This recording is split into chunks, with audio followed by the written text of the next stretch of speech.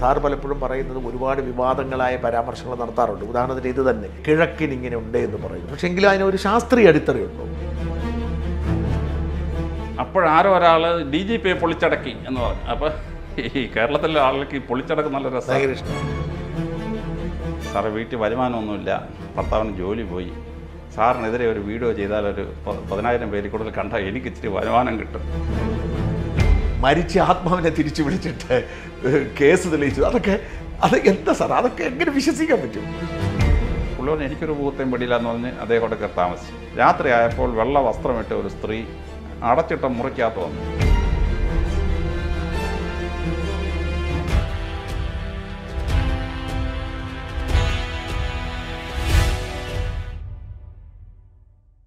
നമസ്കാരം ഷൂട്ടഡ് സൈറ്റിലേക്ക് സ്വാഗതം.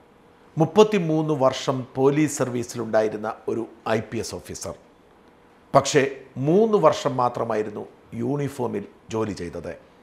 അതുതന്നെ വ്യക്തമാണ് അദ്ദേഹത്തിന്റെ സ്വഭാവവും രീതിയും എന്താവുമെന്ന്.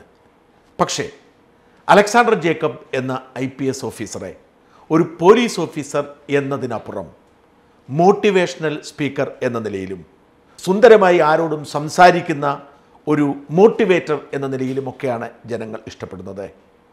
ഒരുപാട് കാര്യങ്ങൾ ഈ സമൂഹത്തോട് പറയാനുള്ള ഒരു അസാധാരണ ധിഷണാശാലി നമ്മുടെ ഇന്നത്തെ അതിഥി മറ്റാരുമല്ല അലക്സാണ്ടർ ജേക്കബ്. നമസ്കാരം. ഞാൻ വാസ്തവത്തിൽ സാറിന്റെ മുമ്പിലിരിക്കുന്നത് ഒരു നദി കടലിലേക്ക് ചേരുന്നതിന് മുമ്പ് അഴിമുഖത്തിങ്ങനെ ആവലാതിപ്പെട്ടിരിക്കുന്ന ഒരവസ്ഥയിലാണ്. എവിടെ നിന്ന് ചോദിച്ചു തുടങ്ങണം? എന്തിനെക്കുറിച്ച് സംസാരിക്കണം എന്നൊന്നും അറിയില്ല. കാരണം സാറിനോട് സംസാരിക്കുകയാണെങ്കിൽ വെറുതെ ഇപ്പോൾ വ്യക്തിത്വ വികസനം അല്ലെങ്കിൽ സംസാര രീതി ഇതൊക്കെ വേണമെങ്കിൽ എനിക്ക് ഒരു ദിവസം സംസാരിക്കാം. അതുകൊണ്ട് എനിക്കറിയില്ല. പക്ഷേ എങ്കിൽ പോലും ഇപ്പോൾ അലക്സാണ്ടർ ജേക്കബ് എന്ന് നമ്മൾ ഗൂഗിളിൽ സെർച്ച് ചെയ്താൽ ആദ്യം എത്തുന്നത് ഏറ്റവും ഒടുവിലത്തെ ചില വിവാദങ്ങളാണ് അപ്പോൾ നമുക്ക് അവിടെ തുടങ്ങാം. യഥാർത്ഥത്തിൽ എന്താണ് സംഭവിച്ചത്? അതായത് ഏഹ്, ശ്രീകണ്ഠൻ നായരുമായിട്ടുള്ള അഭിമുഖത്തിലാണ് അങ്ങിങ്ങനെ ഒരു വിവാദമായ പ്രസ്താവന നടത്തുന്നത്. ഹാർവേഡ് സർവകലാശാല അവരുടെ കെട്ടിടങ്ങൾ പലതും പൊളിച്ചു കളഞ്ഞു. കിഴക്കോട്ട് ദർശനത്തിന് വേണ്ടി. ഇത് വലിയൊരു വിവാദമാവുന്നു. ഒരു വിദ്യാർത്ഥി എന്താണ് ഇത് ബോധപൂർവം പറഞ്ഞു തുടങ്ങിയതാണോ? അത് എന്താണ് സംഭവിച്ചത് യഥാർത്ഥത്തിൽ? ശ്രീകണ്ഠനാട് ഇന്റർവ്യൂവിലല്ല അത് സംഭവിച്ചത്. അത് അതിന് മുമ്പ് രജിസ്റ്റർ റെക്കോർഡ് ചെയ്തൊരു പ്രസംഗമായിരുന്നു. ശ്രീകണ്ഠനാരുടെ ഇന്റർവ്യൂ എന്നെ വിളിച്ചു. അപ്പോൾ ഞാൻ പോയി. ഞാൻ മീഡിയ വിളിച്ചാൽ നോ പറയാറില്ല. അപ്പോൾ ശ്രീകണ്ഠൻ നായരുടെ പഴയ സുഹൃത്താണ് ഞാൻ പോയി. ഇന്റർവ്യൂ കഴിഞ്ഞ് അതങ്ങോട്ട് ഒരു കോടിയുടെ ഭാഗമായിട്ട് ബ്രോഡ്കാസ്റ്റ് ചെയ്തു. അപ്പോൾ ആദ്യത്തെ ഒരു കോടിയുടെ അറിയില്ല അറിയില്ലായിരുന്നു. സാർ എനിക്ക് അറിഞ്ഞൂടെ എന്നെ ഒരു പേഴ്സണൽ എക്സ്പീരിയൻസ് ചോദിക്കാനാണെന്ന് പറഞ്ഞാൽ വിളിച്ചത്. ഒരു കോടിയുടെ പോകത്തില്ല. കാരണം സാർ ഞാൻ പൈസയ്ക്ക് പൈസയ്ക്ക് ആഗ്രഹിക്കുന്നില്ല. എനിക്ക് ആഗ്രഹമില്ല. അപ്പോൾ അവിടെ ചെന്ന് കഴിഞ്ഞ് പിറവത്തോടെ സ്റ്റുഡിയോ മണ്ണിയുടെ സ്റ്റുഡിയോയിൽ ചെന്ന് കഴിഞ്ഞപ്പോഴാണ് ഇത് ഒരു കോടിയാണെന്ന് മനസ്സിലായത്. അപ്പോൾ ഞാൻ ശ്രീനാഥൻ പറഞ്ഞു ശ്രീനാഥൻ എനിക്ക് പൈസ വേണ്ട. പിന്നെ അങ്ങ് ഈ ഇന്റർവ്യൂവിന് വിളിച്ച് ഞാൻ പറയുന്നു ഇന്റർവ്യൂ നടത്തുന്നതുള്ളൂ ഇന്റർവ്യൂ തുടങ്ങിയപ്പോഴേ ഞാൻ പറഞ്ഞു എനിക്ക് ഒരു പൈസയും വേണ്ട. സിവിൽ സർവീസിന് പഠിക്കുന്ന പാവപ്പെട്ട കുട്ടികൾക്ക് ഫീസ് കൊടുക്കാനായിട്ട് എനിക്ക് എത്ര കിട്ടുന്നു അത്രയും കൊടുത്തോളാം മതി എനിക്ക് ആ ഒരു ലക്ഷം രണ്ട് ലക്ഷം കിട്ടി. ഒരു ലക്ഷം ആയപ്പോൾ ഞാൻ വിഡ്രോ ചെയ്തു. ഒരു ലക്ഷം രൂപ പാവപ്പെട്ടവർക്ക് കൊടുത്തു. കൊടുത്തു. കൊടുത്തു കാണുമെന്ന് കരുതുന്നു. ആ കൊടുത്തു. ശ്രീകണ്ഠനാഥ് വാക്ക് പാലിക്കുമെന്ന് വിശ്വസിക്കുന്നു. വിശ്വസിക്കുന്നു. അപ്പോഴേ ആ ഇന്റർവ്യൂ ഫസ്റ്റ് ബ്രോഡ്കാസ്റ്റ് അറുപത്തഞ്ച് ലക്ഷം പേര് കണ്ടു. സെക്കൻഡ് ബ്രോഡ്കാസ്റ്റ് മുപ്പത്തഞ്ച് ലക്ഷം പേരും കണ്ടു. അത് കഴിഞ്ഞ് അതെടുത്ത് നമ്മുടെ ഇതിലിട്ടു യൂട്യൂബിലിട്ടു. യൂട്യൂബിലിട്ടപ്പോൾ ഒരു സെവൻ ഡേയ്സ് കൊണ്ട് പതിനൊന്ന് ലക്ഷം പേര് കണ്ടു. അപ്പോൾ ഈ ഇങ്ങനെയൊക്കെ ഇങ്ങനൊക്കെ ഈ സക്സസ് ഉണ്ടായി കഴിഞ്ഞാൽ അതിന് ഭയങ്കര അറ്റാക്ക് ഉണ്ടാവും. ഈ അസൂയ നമ്മളോട് ആരൊക്കെ അസൂയുണ്ടെന്ന് നമുക്ക് അറിഞ്ഞൂടായിരിക്കും ആ സമയത്താണ് ഈ അസൂയ ഇളകിത്തിരിക്കുന്നത്. സക്സസ് വരുമ്പോഴാണ്. സക്സസ് വരുമ്പോൾ അപ്പോൾ ജൂലൈ ഇരുപത്തൊന്നിന് ഒരു പയ്യൻ അമേരിക്കയിലേക്ക് എഴുതി ഒരു ലെറ്റർ അവിടെ നിന്ന് വന്നു എന്ന് പയ്യൻ ക്ലെയിം ചെയ്യുന്നു. അത് ആറ് മാസത്തിന് ശേഷം അതെടുത്ത് പ്രയോഗിക്കാൻ അവർ തീരുമാനിച്ചു. എന്നിട്ട് അവരെടുത്ത് അങ്ങ് പ്രയോഗിച്ചു. അപ്പോൾ ഞാൻ ഈ പത്ത് നാലായിരം സ്കൂളുകളിൽ പോകും സ്കൂളുകളിൽ പോകുന്ന പറഞ്ഞാൽ ഒരു ഒരു സെൽഫ്ലെസ് സർവീസിന്റെ ഭാഗമാണ്. അപ്പോൾ എൽ പി സ്കൂളിൽ നിന്ന് യു പി സ്കൂളിൽ ഞാൻ പൈസ ഒന്നും വാങ്ങിക്കത്തില്ല. എന്റെ കാറിൽ ഞാൻ പെട്രോൾ അടിച്ച് അവിടെ പോയി ക്ലാസ് എടുക്കുകയാണ്. അപ്പോൾ ഈ പാവപ്പെട്ട കുട്ടികളുള്ളൊരു സ്ഥലത്ത് ഈ ഓർമ്മശക്തിയും ബുദ്ധിശക്തിയും എങ്ങനെ കൂട്ടാൻ പറ്റും? പരീക്ഷയ്ക്ക് എങ്ങനെ മാർക്ക് വാങ്ങിക്കാൻ പറ്റും? ഇതൊക്കെ പറഞ്ഞു കൊടുക്കുകയാണ്. അവനോട് അയ്യായിരം രൂപയുടെ മരുന്ന് വാങ്ങിക്കാൻ പറഞ്ഞാൽ അവനെ കൊണ്ട് പറ്റുമോ നീ ഇന്ന യൂറോ യൂറോപ്പിലൊരു കോഴ്സ് ഉണ്ട് നീ അത് അറ്റൻഡ് ചെയ്യാൻ പറഞ്ഞാൽ അവനെ കൊണ്ട് പറ്റുമോ പറ്റത്തില്ല. അപ്പോൾ ഈ സാധാരണ ഗ്രാമത്തിലുള്ള കർഷക തൊഴിലാളികളുടെ പാവപ്പെട്ട ആളുകളുടെ മക്കളാണ്. ആ മക്കൾക്ക് എളുപ്പം പറഞ്ഞു കൊടുക്കാൻ പറ്റുന്ന ചില കാര്യങ്ങളുണ്ട്. കിഴക്കോട് തിരിഞ്ഞ് പഠിക്കുക ആട്ടുംപാൽ കിട്ടുമെങ്കിൽ ഒന്ന് കുടിക്കുക ഇങ്ങനെ സിമ്പിളായിട്ടുള്ള ആഹാര സാധനങ്ങൾ. പിന്നെ പരീക്ഷ എഴുതുമ്പോൾ പ്രയോഗിക്കുന്ന ഇരുപത്തി പതിനൊന്ന് ഈസി ടെക്നിക്സ് ഉണ്ട് ഞാനൊരു നൂറ്റി എഴുപത്തിരണ്ട് പബ്ലിക് എക്സാമിനേഷൻ പാസ്സായി ഏഴ് ഡിഗ്രി എടുത്തു. അപ്പോൾ ആ ഡിഗ്രികൾ ഓരോന്നിനും പരീക്ഷ എഴുതുമ്പോൾ ഈ മറ്റുള്ളവർക്ക് അറിയാത്ത ചില ടെക്നിക്ക് അപ്പോൾ ഇത് പാവപ്പെട്ട കുട്ടികൾക്ക് ആരും പറഞ്ഞു കൊടുക്കാനല്ല. അവനൊരു നൂറ്റമ്പത് പുസ്തകം വായിച്ചത് കണ്ടെത്താനുള്ള സമയം അവനില്ല അപ്പോൾ അങ്ങനെ പറഞ്ഞു കൊടുത്ത കൂട്ടത്തിലാണ് ഇന്ത്യയിലെ ക്ഷേത്രങ്ങളെല്ലാം കിഴക്കോട്ടാണ്. ക്രിസ്ത്യൻ പള്ളികളെല്ലാം കിഴക്കോട്ടാണ്. സൂര്യ നമസ്കാരം ചെയ്യുമ്പോൾ കിഴക്കോട്ടാണ്. അപ്പോൾ കിഴക്കോട്ട് തിരിഞ്ഞിട്ട് നമ്മൾ പഠിക്കുമ്പോൾ നമ്മുടെ ബുദ്ധിശക്തിക്ക് ഒരു എൻഹാൻസ്മെന്റ് ഉണ്ടാവും. അതൊരു ഒരു ജോഗ്രാഫിക്കൽ ഫിനോമിനാണ് അതായത് ഈ ഭൂമിയുടെ magnetic north pole geographic south പോളിലും magnetic south pole geographic north പോളിലുമാണ് അപ്പോൾ ഈ നമ്മൾ തെക്കോട്ട് തിരിഞ്ഞിരിക്കുകയാണെങ്കിൽ ഭൂമിയുടെ കാന്തമണ്ഡലവും നമ്മുടെ കാന്തമണ്ഡലവും ഒരേ ദിശയിൽ വരും. അപ്പോൾ like poles repel unlike pole attract ഇതാണ്. അപ്പോൾ തെക്കോട്ട് തിരിഞ്ഞിരിക്കുമ്പോൾ നമ്മുടെ നമ്മുടെ ബുദ്ധിശക്തിയെ ഭൂമിയുടെ കാന്തമണ്ഡലം ക്ഷയിപ്പിക്കും. പഠിക്കാൻ പറ്റിയതാണ്. കിഴക്കോട്ട് തിരിഞ്ഞതാണെങ്കിൽ ആളിന്റെ ബുദ്ധിശക്തി ഡയഗണലായിട്ട് വരും. അപ്പോൾ ഇറ്റ് ഗെറ്റ്സ് എൻഹാൻസ്ഡ് ഇതൊരു സയന്റിഫിക് പ്രോസസ്സാണ് അപ്പോൾ ഇതിനെപ്പറ്റി വളരെ കൃത്യമായിട്ട് ഇന്ത്യയിലെ സ- സനാതന ധർമ്മം ലോകത്തെ പഠിപ്പിച്ച ഒന്നാണ് ഈ കിഴക്കിന്റെ പ്രാധാന്യം. ഈ പുരോഹിതൻ എന്ന വാക്ക് വരുന്നത് തന്നെ കിഴക്കുവശത്തോട്ട് നോക്കി നിന്ന് ജനങ്ങളെ നയിപ്പിച്ച് പ്രാർത്ഥിക്കുന്നതിന് അർത്ഥം പൗര പൗരോഹിതം അതായത് പുരം പുരം എന്ന് പറഞ്ഞാൽ കിഴക്കിന്റെ ഡയറക്ഷൻ അങ്ങോട്ട് തിരിഞ്ഞ് നിന്ന് പ്രാർത്ഥിക്കുന്ന ആളെന്നാണ് പുരോഹിതൻ എന്ന വാക്കിന്റെ തന്നെ. വീടുകൾ നമ്മൾ കിഴക്ക് വശം അതെ. അപ്പം ശങ്കരാചാര്യർ ബ്രഹ്മസ്തോത്രം എന്ന കൃതിയിലാണ് ഇത് വിശദീകരിക്കുന്നത്. എന്നിട്ട് അറുപത്തി എട്ടാം ശ്ലോകത്തിൽ പറയുന്നു ഈ ജ്ഞാനത്തിന് ദിശയൊന്നുമില്ല. ഏതാ? അനന്തമായ ബ്രഹ്മാവ് നമുക്കറിയാം ജ്ഞാനം ഏത് ദിശയിൽ നിന്നും വരും. പക്ഷേ നമ്മൾ പ്രാർത്ഥിക്കുമ്പോൾ കിഴക്കോട്ട് തന്നെ ചെന്ന് പ്രാർത്ഥിക്കുകയും പഠിക്കുകയും ചെയ്യണം. ശങ്കരാചാര്യർ പറയുന്നത്. The greatest Malayali ever born അപ്പോൾ ഇതെല്ലാം ആയപ്പോൾ തന്നെ മൂന്ന് മണി സമയമായി. അപ്പോൾ ഈ കുട്ടികൾക്ക് ശാലം രസമൊക്കെ വേണമല്ലോ അപ്പം ഞാൻ അമേരിക്കയിലെ ഒരു ഹൈന്ദവ സന്യാസി അമേരിക്കക്കാർക്ക് വേണ്ടി എടുക്കുന്ന ഒരു ക്ലാസ് ഞാൻ വീഡിയോ കണ്ടിട്ടുണ്ട്. അതിനകത്ത് അദ്ദേഹം പറയുന്നത് ഹാർവാർഡ് യൂണിവേഴ്സിറ്റിയിൽ ഒരു ഹോസ്റ്റൽ ഇങ്ങനെ വൃത്താകൃതിയിൽ പണിഞ്ഞു. പണിഞ്ഞു കഴിഞ്ഞപ്പോൾ കിഴക്കോട്ട് തിരിഞ്ഞ കുട്ടികൾക്ക് മാർക്ക് കൂടുതൽ കിട്ടി തെക്കോട്ട് തിരിഞ്ഞ കുട്ടികൾക്ക് മാർക്ക് കുറഞ്ഞു. അപ്പോൾ അതുകൊണ്ട് ആ മനുഷ്യ ആ പ്രവ പ്രഭു അത് പൊളിച്ചിട്ട് പുതിയ ഹോസ്റ്റൽ പണിഞ്ഞു എന്നാണ്. അപ്പോൾ ഹാർവാർഡ് യൂണിവേഴ്സിറ്റിയിൽ അറുന്നൂറ് കെട്ടിടമുണ്ട്.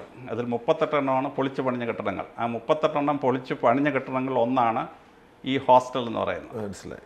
അത് കെസ്റ്റർ ബിൽഡിംഗ് എന്നോ കിസ്റ്റൺ ബിൽഡിംഗ് കണ്ട അതിന്റെ പേര്. അറിയപ്പെടും അപ്പോൾ ഈ ഞാനത് അതിന്റെ ഒറിജിനൽ യൂട്യൂബ് തപ്പിയിട്ട് കാണുന്നില്ല. അഞ്ചെട്ട് പത്ത് കൊല്ലം കഴിഞ്ഞ് മാഞ്ഞു പോയെന്ന് എനിക്ക് അറിഞ്ഞൂടാ. അപ്പോൾ ഇത് രണ്ട് കാരണങ്ങളാണ് ഇതിന് രസകരമായി തോന്നുന്നത്. കാരണം ഈ ഹാർവാർഡ് യൂണിവേഴ്സിറ്റി അയച്ച ലെറ്ററിൽ ഞാൻ പറഞ്ഞ തെറ്റാണെന്ന് പറയുന്നേ ഇല്ല. We did a research and we have no data available available പിന്നെ ലാസ്റ്റിൽ അത് നിർത്തുന്നതിന് മുമ്പ് പറയുന്നു we with our research we cannot disprove what this person have told അതായത് ഞാൻ പറഞ്ഞതിനെ ഡിസ്പ്രൂവ് ചെയ്യാൻ അവരുടെ കയ്യിൽ ഒരു രേഖയും ഇല്ല എന്നാണ് പറയുന്നത്. പറയുന്നത്. അപ്പോൾ ഈ ഇംഗ്ലീഷ് നോർമൽ ഇംഗ്ലീഷ് അറിയാവുന്ന ഒരാൾക്ക് ഒരിക്കലും ഇത് തെറ്റിദ്ധരിക്കാനൊക്കത്തില്ല. നോർമൽ ഇംഗ്ലീഷ് പറയുന്നത് ഞാൻ പറഞ്ഞതിനെ അവർക്ക് നിരാകരിക്കാൻ പറ്റില്ലെന്നാണ് ഹാർവാർഡ് യൂണിവേഴ്സിറ്റി പറഞ്ഞത്. ചിലപ്പോൾ ശരിയാവാം. ശരി ചിലപ്പോൾ ശരിയാവാം. അപ്പോൾ we cannot we don't have facts to disprove what he said എന്നാണ്. അപ്പോൾ ഞാൻ പറഞ്ഞ തെറ്റാണെന്നല്ലോ തെറ്റാന്ന് ഒരിക്കലും പറയും പിന്നെ ഒരാളെ ഡിസ്പ്രൂവ് ചെയ്യാൻ ശ്രമിക്കുകയാണെങ്കിൽ ഹാർവാർഡ് യൂണിവേഴ്സിറ്റി വൈസ് ചാൻസലർ ആരെങ്കിലും വിളിച്ച് ചോദിക്കണം നിങ്ങൾ ആരെങ്കിലും ഇങ്ങനെ ലെറ്റർ അയച്ചിട്ടുണ്ടോ? ഹാർവാർഡ് യൂണിവേഴ്സിറ്റി ഒഫീഷ്യലി ഒരു ലെറ്റർ അയച്ചിട്ടില്ല. ഞാൻ എൻക്വയറി ചെയ്തു ഇവിടുത്തെ ഐ പി എസ് ഉദ്യോഗസ്ഥൻ അവിടെ സ്റ്റുഡന്റ് ആയി ഹാർവാർഡ് യൂണിവേഴ്സിറ്റിയിൽ അപ്പോൾ അവിടുന്ന് ഒഫീഷ്യലി ലെറ്റർ അയച്ചെന്ന് യൂണിവേഴ്സിറ്റി ദൂരം ലെറ്റർ അയച്ചിട്ടില്ല. അയച്ചിട്ടില്ല. ഇല്ല. അപ്പം ഇനി വന്നെന്ന് പറയുന്നേ കത്തോ? ഏതോ ഒരു പയ്യനൊരു പിള്ളേർ കളിയുടെ ഭാഗമായിട്ട് എന്തോ ഒരു ലെറ്റർ അയച്ചിട്ടുണ്ട്. അത്രേ ഉള്ളൂ. പിള്ളേർ തമ്മിൽ അയച്ച ഒരു ലെറ്ററിന്റെ ഒരു ഒരു ട്രാൻസാക്ഷനാണ് ഒഫീഷ്യലി ഹാർവാർഡ് യൂണിവേഴ്സിറ്റി നെവർ ഇല്ല. ഓ. പക്ഷേ ഞാൻ ഈ ഇങ്ങനൊരു സംഭവം ഉണ്ടെന്ന് അറിഞ്ഞ ഉടൻ തന്നെ നമ്മുടെ ഈ കുട്ടിയുടെ അച്ഛൻ ശാസ്ത്ര പരിഷത്തിലെ ഒരു അംഗമാണ്. അദ്ദേഹം ഒരു ശാസ്ത്ര എന്തോ ഒരു മാസിക ഏതിനകത്ത് പബ്ലിഷ് ചെയ്തു. അപ്പം ഞാൻ ഉടൻ തന്നെ പരസ്യമായിട്ട് വന്ന ഒരു കമന്റ് പാസ്സാക്കി. ഞാൻ ഈ കുട്ടിയെ അഭിനന്ദിക്കുന്നു. ഈ കത്തയക്കാൻ കത്തയക്കാൻ ഒരു അന്വേഷണാത്മകമായ ഒരു സംഘടന അയച്ചാൽ ഞാൻ അഭിനന്ദിക്കുന്നു. ഈ കുട്ടി ഭാവിയിൽ ഒരു ശാസ്ത്രജ്ഞനാവണം. അതിനുവേണ്ടി ഞാൻ പ്രാർത്ഥിക്കുന്നു. ഹാർവാർഡിൽ തന്നെ പഠിക്കണം. ഹാർവാർഡിൽ തന്നെ പഠിക്കാനായി ഈ കുട്ടിക്ക് ഒരു സ്കോളർഷിപ്പ് വാങ്ങിച്ചു കൊടുത്തിട്ട് ഈ കുട്ടി ഹാർവാർഡിനെ പറ്റി അന്വേഷിച്ച സ്ഥിതിക്ക് ഈ കുട്ടിയെ നമുക്ക് ഹാർവാർഡിലോട്ട് ഒന്ന് പഠിപ്പിക്കണം. അപ്പോൾ ഞാൻ ഒരുപാട് കുട്ടികൾക്ക് ഈ സ്കോളർഷിപ്പ് വാങ്ങിച്ചു കൊടുത്ത് വിദേശത്തൊക്കെ വിട്ട് പഠിപ്പിക്കും. അപ്പോൾ ആ കൂട്ടത്തിൽ ഈ കുട്ടിയെ ഒന്ന് ഒരു സ്കോളർഷിപ്പ് കൊടുത്ത് ഹാർവാർഡിൽ വിട്ട് പഠിപ്പിക്കണം എന്ന് ഞാൻ അപ്പം തന്നെ ഇത് അറിഞ്ഞ ഇപ്പോൾ തന്നെ പരസ്യമായിട്ട് അങ്ങ് പറഞ്ഞു. അപ്പോഴാരോ ഒരാൾ ഡി ജി പിയെ പൊളിച്ചടക്കി എന്ന് പറഞ്ഞു. അപ്പോൾ ഈ കേരളത്തിലെ ആളുകൾക്ക് ഈ പൊളിച്ചടക്ക് നല്ല രസമാണ് ഭയങ്കര ഇഷ്ടമാണ്. പണ്ട് മഹാബലി ചവിട്ടി പാതാളത്തിൽ താത്തി എന്ന് ഒരു പുരാണത്തിലും ഇല്ലാത്ത കഥ പറയുമല്ലോ. മഹാപുര മഹാഭാരതത്തിലെ ഈ രാമായണത്തിലൊക്കെ കഥയ്ക്കകത്ത് മഹാബലി കേരളത്തിലുള്ള ആളെ അല്ല മഹാബലി യാഗം നടത്തിയത് നർമ്മഗാന്ധിയുടെ വടക്ക് വശത്താണ് ഇപ്പം നമ്മുടെ പ്രിയപ്പെട്ട നരേന്ദ്രമോദി സർദാർ വല്ലഭായ് പട്ടേലിനൊരു വലിയ സ്റ്റാച്ചു പണിഞ്ഞു. സ്റ്റാച്ചുവിൽ ഒരു വലിയ കെട്ടിടം. അതിനവിടെ നിന്നൊരു ഏതാനും കിലോമീറ്റർ അപ്പുറത്താണ് ഈ ബ്രോച്ച് അല്ലെങ്കിൽ ബ്രാഗ് ബ്രഗ് ഗച്ച എന്ന് പറഞ്ഞ സ്ഥലം. അവിടെയാണ് ഈ മഹാബലി യാഗം നടത്തിയത്. അവിടെയാണ് ഈ വാമനം പോയത്. അപ്പോൾ ആറാം നൂറ്റാണ്ട് കഴിഞ്ഞപ്പോഴത്തേക്ക് ഈ കടമ്പ ദേശത്ത് നിന്ന് കുറച്ച് ബ്രാഹ്മണർ കേരളത്തിലോട്ട് വന്നു. അപ്പോൾ അവരാണ് ഈ കഥ കേരളത്തിൽ കൊണ്ടുവരുന്നത്. അപ്പോൾ പുരാണത്തിലെ കഥയ്ക്കകത്ത് മഹാബലി സുതലത്തിലേക്ക് അയക്കുന്നു ഒരു കഥയിൽ. മറ്റേ കഥയിൽ മഹാബലിയുടെ അഹങ്കാരം ശമിച്ച ശേഷം മഹാബലിയോട് തിരിച്ച് മുപ്പത്താറ് കൊല്ലം ഭരിച്ചോളാൻ പറഞ്ഞു. അങ്ങനെ മഹാബലി അവസാനം ചിരഞ്ജീവിയായി. സദ്ഭരണം ശ്രീരാമന് മുമ്പ് കാഴ്ചവെച്ച മഹാ മഹാബലി ഒരു ചിരഞ്ജീവിയായി മാറി. അതുകൊണ്ടാണ് അശ്വതാമ ബലി വ്യാസോ എന്ന് പറഞ്ഞാണ് ഏഴ് ചിരഞ്ജീവികളുടെ പേര് രണ്ടാമത്തെ ആൾ മഹാബലിയാണ്. പക്ഷേ കേരളത്തിൽ വന്നപ്പോഴത്തേന് കേരള കേരളത്തിൽ ഒരു പുരാണത്തിലും പറയാത്തൊരു കഥ അതിന്റെ അവസാനം ചേർത്തു. മഹാബലി അവസാനം തല കാണിച്ചു കൊടുത്ത് ചവിട്ടി മഹാബലിയെ താഴോട്ട് ചാടിച്ചെന്നു അപ്പോൾ ഈ ചവിട്ടി പുറത്താക്കുക പൊളിച്ചടുക്കുക വലിയ രസമാണ്. അപ്പോൾ ഈ രസം എന്താണെന്ന് വെച്ചാൽ ലോകത്തിൽ ഒരാൾക്കും മറ്റൊരാളെ വാദത്തിൽ തോപ്പിക്കാൻ പറ്റിയല്ല ഒരു വാദത്തിൽ ഒരു വാദത്തിൽ തോപ്പിക്കാൻ പറ്റിയില്ല അവരവനവന്റെ വാദത്തിലാണല്ലോ അല്ലേ? നമ്മൾ ഒരാൾ ഒരാളുടെ വാദം പറയുന്നു മറ്റേ വാദം പറയുന്നു. അപ്പോൾ ഫാക്ച്വലായ ഒരു ഫാക്റ്റ് വന്നിട്ട് ഡിസ്പ്രൂവ് ചെയ്യല്ലാത്ത ഒരാൾക്ക് പറ്റിയല്ല അപ്പോൾ ഇത് പണ്ഡിതന്മാർക്ക് മാത്രമേ മനസ്സിലാവുള്ളൂ. ഇപ്പോൾ ശങ്കരാചാര്യരും മണ്ഡന മിശ്രം തമ്മിൽ തർക്കം ഉണ്ടാവും. ആ തർക്കത്തെ നമ്മൾ ശങ്കര ദിഗ്വിജയത്തിൽ ഇങ്ങനെ വൈചാരണ സ്വാമിയുടെ ശങ്കര ദിഗ്വിജയം വായിക്കുകയാണ്. പക്ഷേ അതിനകത്ത് അദ്ദേഹം പോലും പറയുന്നു രണ്ടുപേരും അങ്ങോട്ടും ഇങ്ങോട്ടും ഭാഗത്തിൽ തോപ്പിക്കാൻ പറ്റിയില്ല. ലാസ്റ്റിൽ മണ്ഡന മിശ്രൻ സബ്മിറ്റഡ് എന്നാണ്. അതായത് പൂക്കൾ വാടിയപ്പോൾ he submitted and became a disable അപ്പോൾ ഈ ഈ പെറ്റി മൈൻഡഡായ ആൾക്കാർ അതിനെ തിരിക്കും. തേച്ചൊട്ടിച്ചു ഇവനെ തേച്ചൊട്ടിച്ചു കണ്ടം വഴി ഓടിച്ചു എന്നൊക്കെ പറയും. ഈ പറയുന്ന ആളുകൾക്ക് ആ വിഷയം അറിഞ്ഞൂടാ എന്നുള്ളതാണ്. ആർക്കും ആരെയും കണ്ടം വഴി ഓടിക്കാൻ പറ്റില്ല ആർക്കും ആരെയും തേച്ചൊട്ടിക്കാൻ പറ്റില്ല ആർക്കും ആരെയും പൊളിച്ചടക്കാൻ പറ്റിയില്ല ഒരാൾ അയാളുടെ വാദം പറയും മറ്റേ ആൾ മറ്റേ മറ്റേ വാദം പറയും. അപ്പോൾ ഫാക്ച്വലി ഒരു വാദത്തെയും തോപ്പിക്കാനൊക്കെ നൂ അഞ്ഞൂറ് കൊല്ലം നിലനിന്ന ഒരു തത്വ തത്വശാസ്ത്രത്തെ എങ്ങനെയാണ് ഡിസ്പ്രൂവ് ചെയ്യുന്നത് നോബഡി ക്യാൻ ഡിസ്പ്രൂവ് മനസ്സിലാവുന്നുണ്ടോ? അപ്പോൾ അങ്ങനെ അതിലാണ് രസകരമായിട്ട് ഈ പറയുന്ന പൊളിച്ചടക്കലുണ്ടായത്. പിന്നെ മാതൃഭൂമിയിൽ മാർഷലിന്റെ മാർഷലിന്റെ ഒരു ഇന്റർവ്യൂവിൽ എന്തോ സംഭവിച്ചത്? അല്ല മാർഷൽ എന്നെ ക്ഷണിച്ചു. അപ്പം മാർഷലിനോട് ഞാൻ പറഞ്ഞു ഞാൻ വരാമെന്ന് പറഞ്ഞു. പക്ഷേ ഒരു ചതിപ്രയോഗം എനിക്ക് പിടികിട്ടിയില്ല. അപ്പോൾ ഞാൻ ചെന്നപ്പോൾ എന്നെ ഒതുക്കാൻ വേണ്ടിയുള്ള ഫാക്സ് ആൻഡ് ഫിഗേഴ്സ് എല്ലാം വെച്ചിട്ടാണ് ഈ അവർ റെഡിയായി നിന്നത്. അപ്പോൾ ഞാൻ അവരോട് പറഞ്ഞു നിങ്ങൾ അത് ലെറ്റർ ഒന്ന് വെരിഫൈ ആ ലെറ്ററിനകത്ത് പച്ച ഇംഗ്ലീഷ് അറിയാവുന്ന എല്ലാവർക്കും മനസ്സിലാവുന്നുണ്ട്. We don't have any facts we don't we cannot disprove എന്നാണ് അതിനകത്ത് എഴുതിയിരിക്കുന്നത്. അപ്പോൾ എന്നെ പൊളിച്ചടക്കി എന്നൊക്കെ പറഞ്ഞ് ഇങ്ങനെ വ്യാഖ്യാനിച്ച് കളയരുത്. എന്ന് അവരോട് ഞാൻ പറഞ്ഞു. പക്ഷേ അവർ കോർണർ ചെയ്യാനുള്ള ശ്രമമാണ് അവിടെ നടത്തിയത്. അപ്പോൾ പത്രപ്രവർത്തനത്തിന്റെ ഭാഗമായിട്ട് അങ്ങനെ ഒരിക്കലും ചെയ്യാൻ പാടില്ല.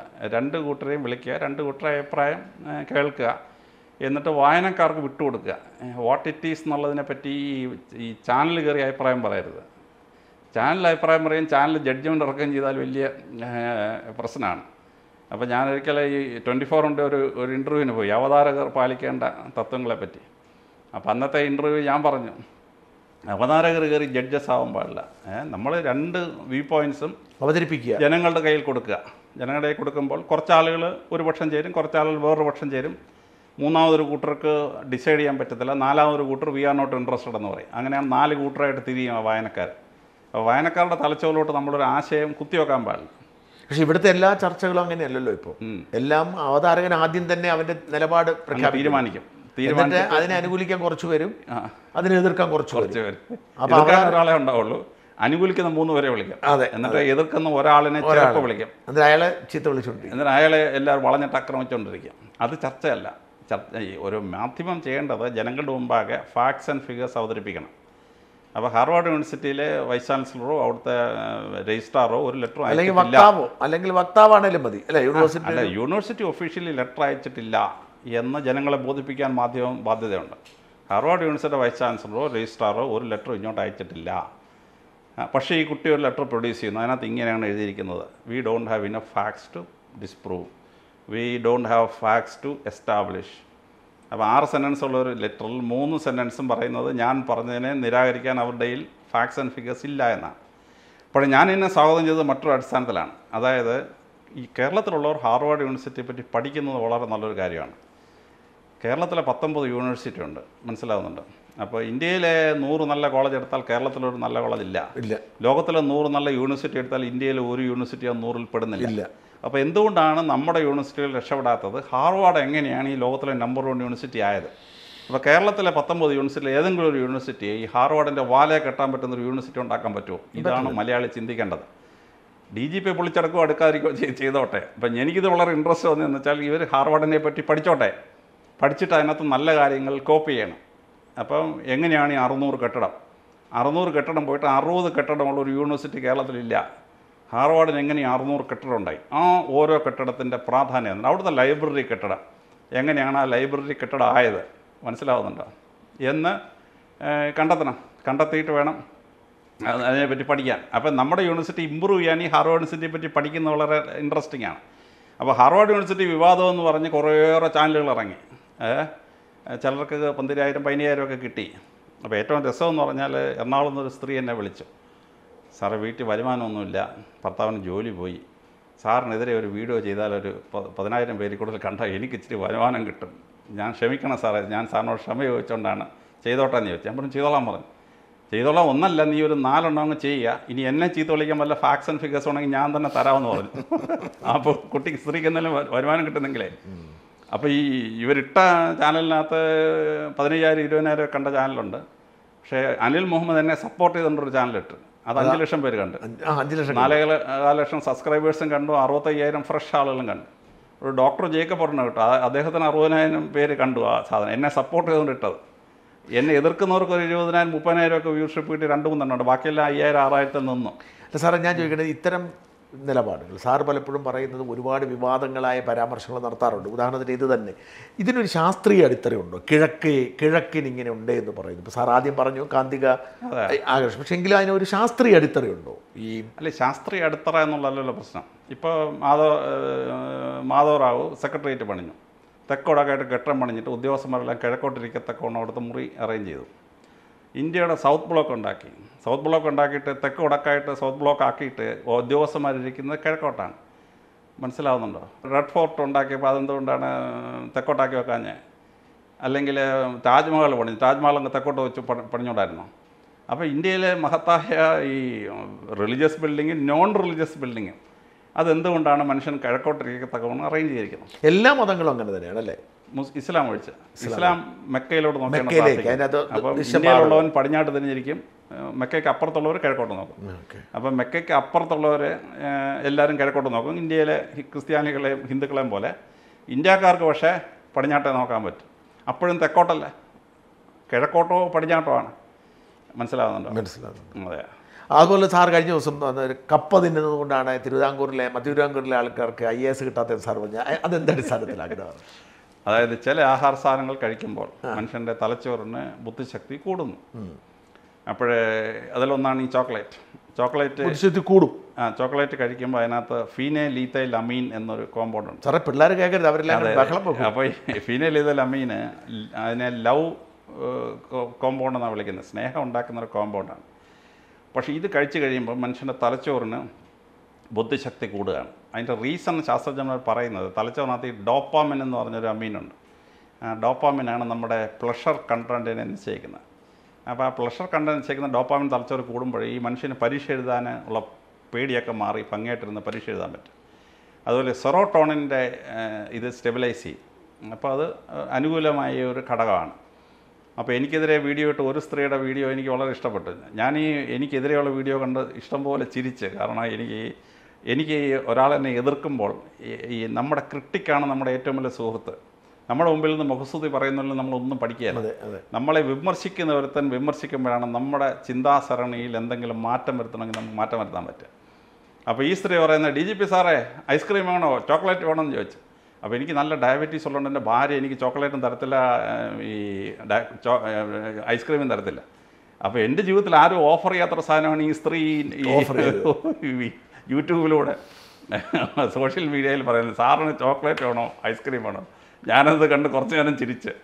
അപ്പോൾ ഈ അപ്പം അല്ല അപ്പൊ കപ്പ കപ്പ എങ്ങനത്തെ മോശം കാര്യം? ആ അപ്പോഴേ ഈ പറയുന്ന ഈ എതിർപ്പുള്ള ചില സാധനങ്ങളുണ്ട്. അതിലൊന്നാണ് ഈ കപ്പ എന്ന് പറഞ്ഞത് കപ്പയ്ക്കകത്ത് ഈ കപ്പയുടെ ഇല തിന്നാൽ ആട് ചത്തുപോകും. അതെ അത് അപ്പോൾ ഈ കിഴങ്ങിനകത്തും ഈ പോയിസണസ് ആയ ചില മെറ്റീരിയലുണ്ട് അപ്പോൾ ഈ സാധനം സൗത്ത് അമേരിക്കയിൽ മാത്രം ഉണ്ടായിരുന്ന ഒരു സാധനമാണ്. ലോകത്ത് മറ്റൊരിടത്തും കപ്പ ഉണ്ടായിരുന്നില്ല. അപ്പോൾ അവരതിനെ കപ്പിയോക്ക എന്ന് വിളിച്ച് പിന്നെ അതൊരു സപ്പിയോക്ക എന്നാക്കി. അതാണ് കേരളത്തിൽ ഒന്ന് ടപ്പിയോക്ക എന്നായിപ്പോയത് ഈ സപ്പിയോക്കായ.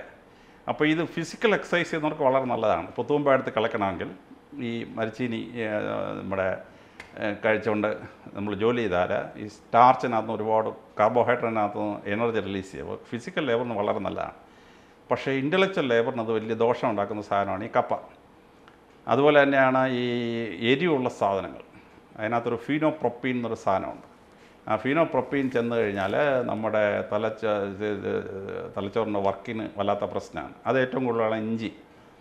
അപ്പോൾ ഇഞ്ചി തിന്ന കുരങ്ങ് നമ്മൾ മലയാളത്തിൽ പറയും. ഇഞ്ചി തിന്നു കഴിഞ്ഞാൽ കുരങ്ങ് വയലന്റ് ആവും. കുരങ്ങ് ചുറ്റുമുള്ള കാടിച്ച് ചേർക്കും കുരങ്ങിന്റെ കുഴപ്പമല്ല. കുരങ്ങ് എന്ന ഇഞ്ചിയുടെ കുഴപ്പമാണ്. അപ്പോൾ ഈ പഠിക്കാൻ പോകുന്ന ആളുകൾക്ക് പരീക്ഷ എഴുതാൻ പോകുന്ന ആളുകൾക്ക് ഇഞ്ചി കഴിച്ചിട്ട് പൊക്കളായിരുന്നു ഇഞ്ചി മുട്ടായിയോ ഇഞ്ചി തോരനോ ഒന്നും കഴിച്ചിട്ട് പൊക്കളായിരുന്നു പണ്ട് ഈ നായർ പട്ടാള യുദ്ധത്തിന് പോകുമ്പോൾ അവർക്ക് ഇഞ്ചിക്കറി കൂട്ടി ചോറ് കൊടുക്കും. അപ്പോൾ ഇഞ്ചി അവന്റെ ഉള്ളിലോട്ട് ചെന്ന് കഴിയുമ്പോഴേ നായർ പടയാളിക്ക് ഭയങ്കര ഉശിരാവും. ഈ ശത്രു സൈന്യത്തിലേക്ക് ആട്ടിച്ച് കയറാൻ വേണ്ടിയാണ് ഈ നായർ പട്ടാളത്തിന് ഇഞ്ചിക്കറി കമ്പൽസറി ആയിട്ട് കൊടുത്തിട്ട് അവർ യുദ്ധത്തിന് വിടുകയുള്ളൂ.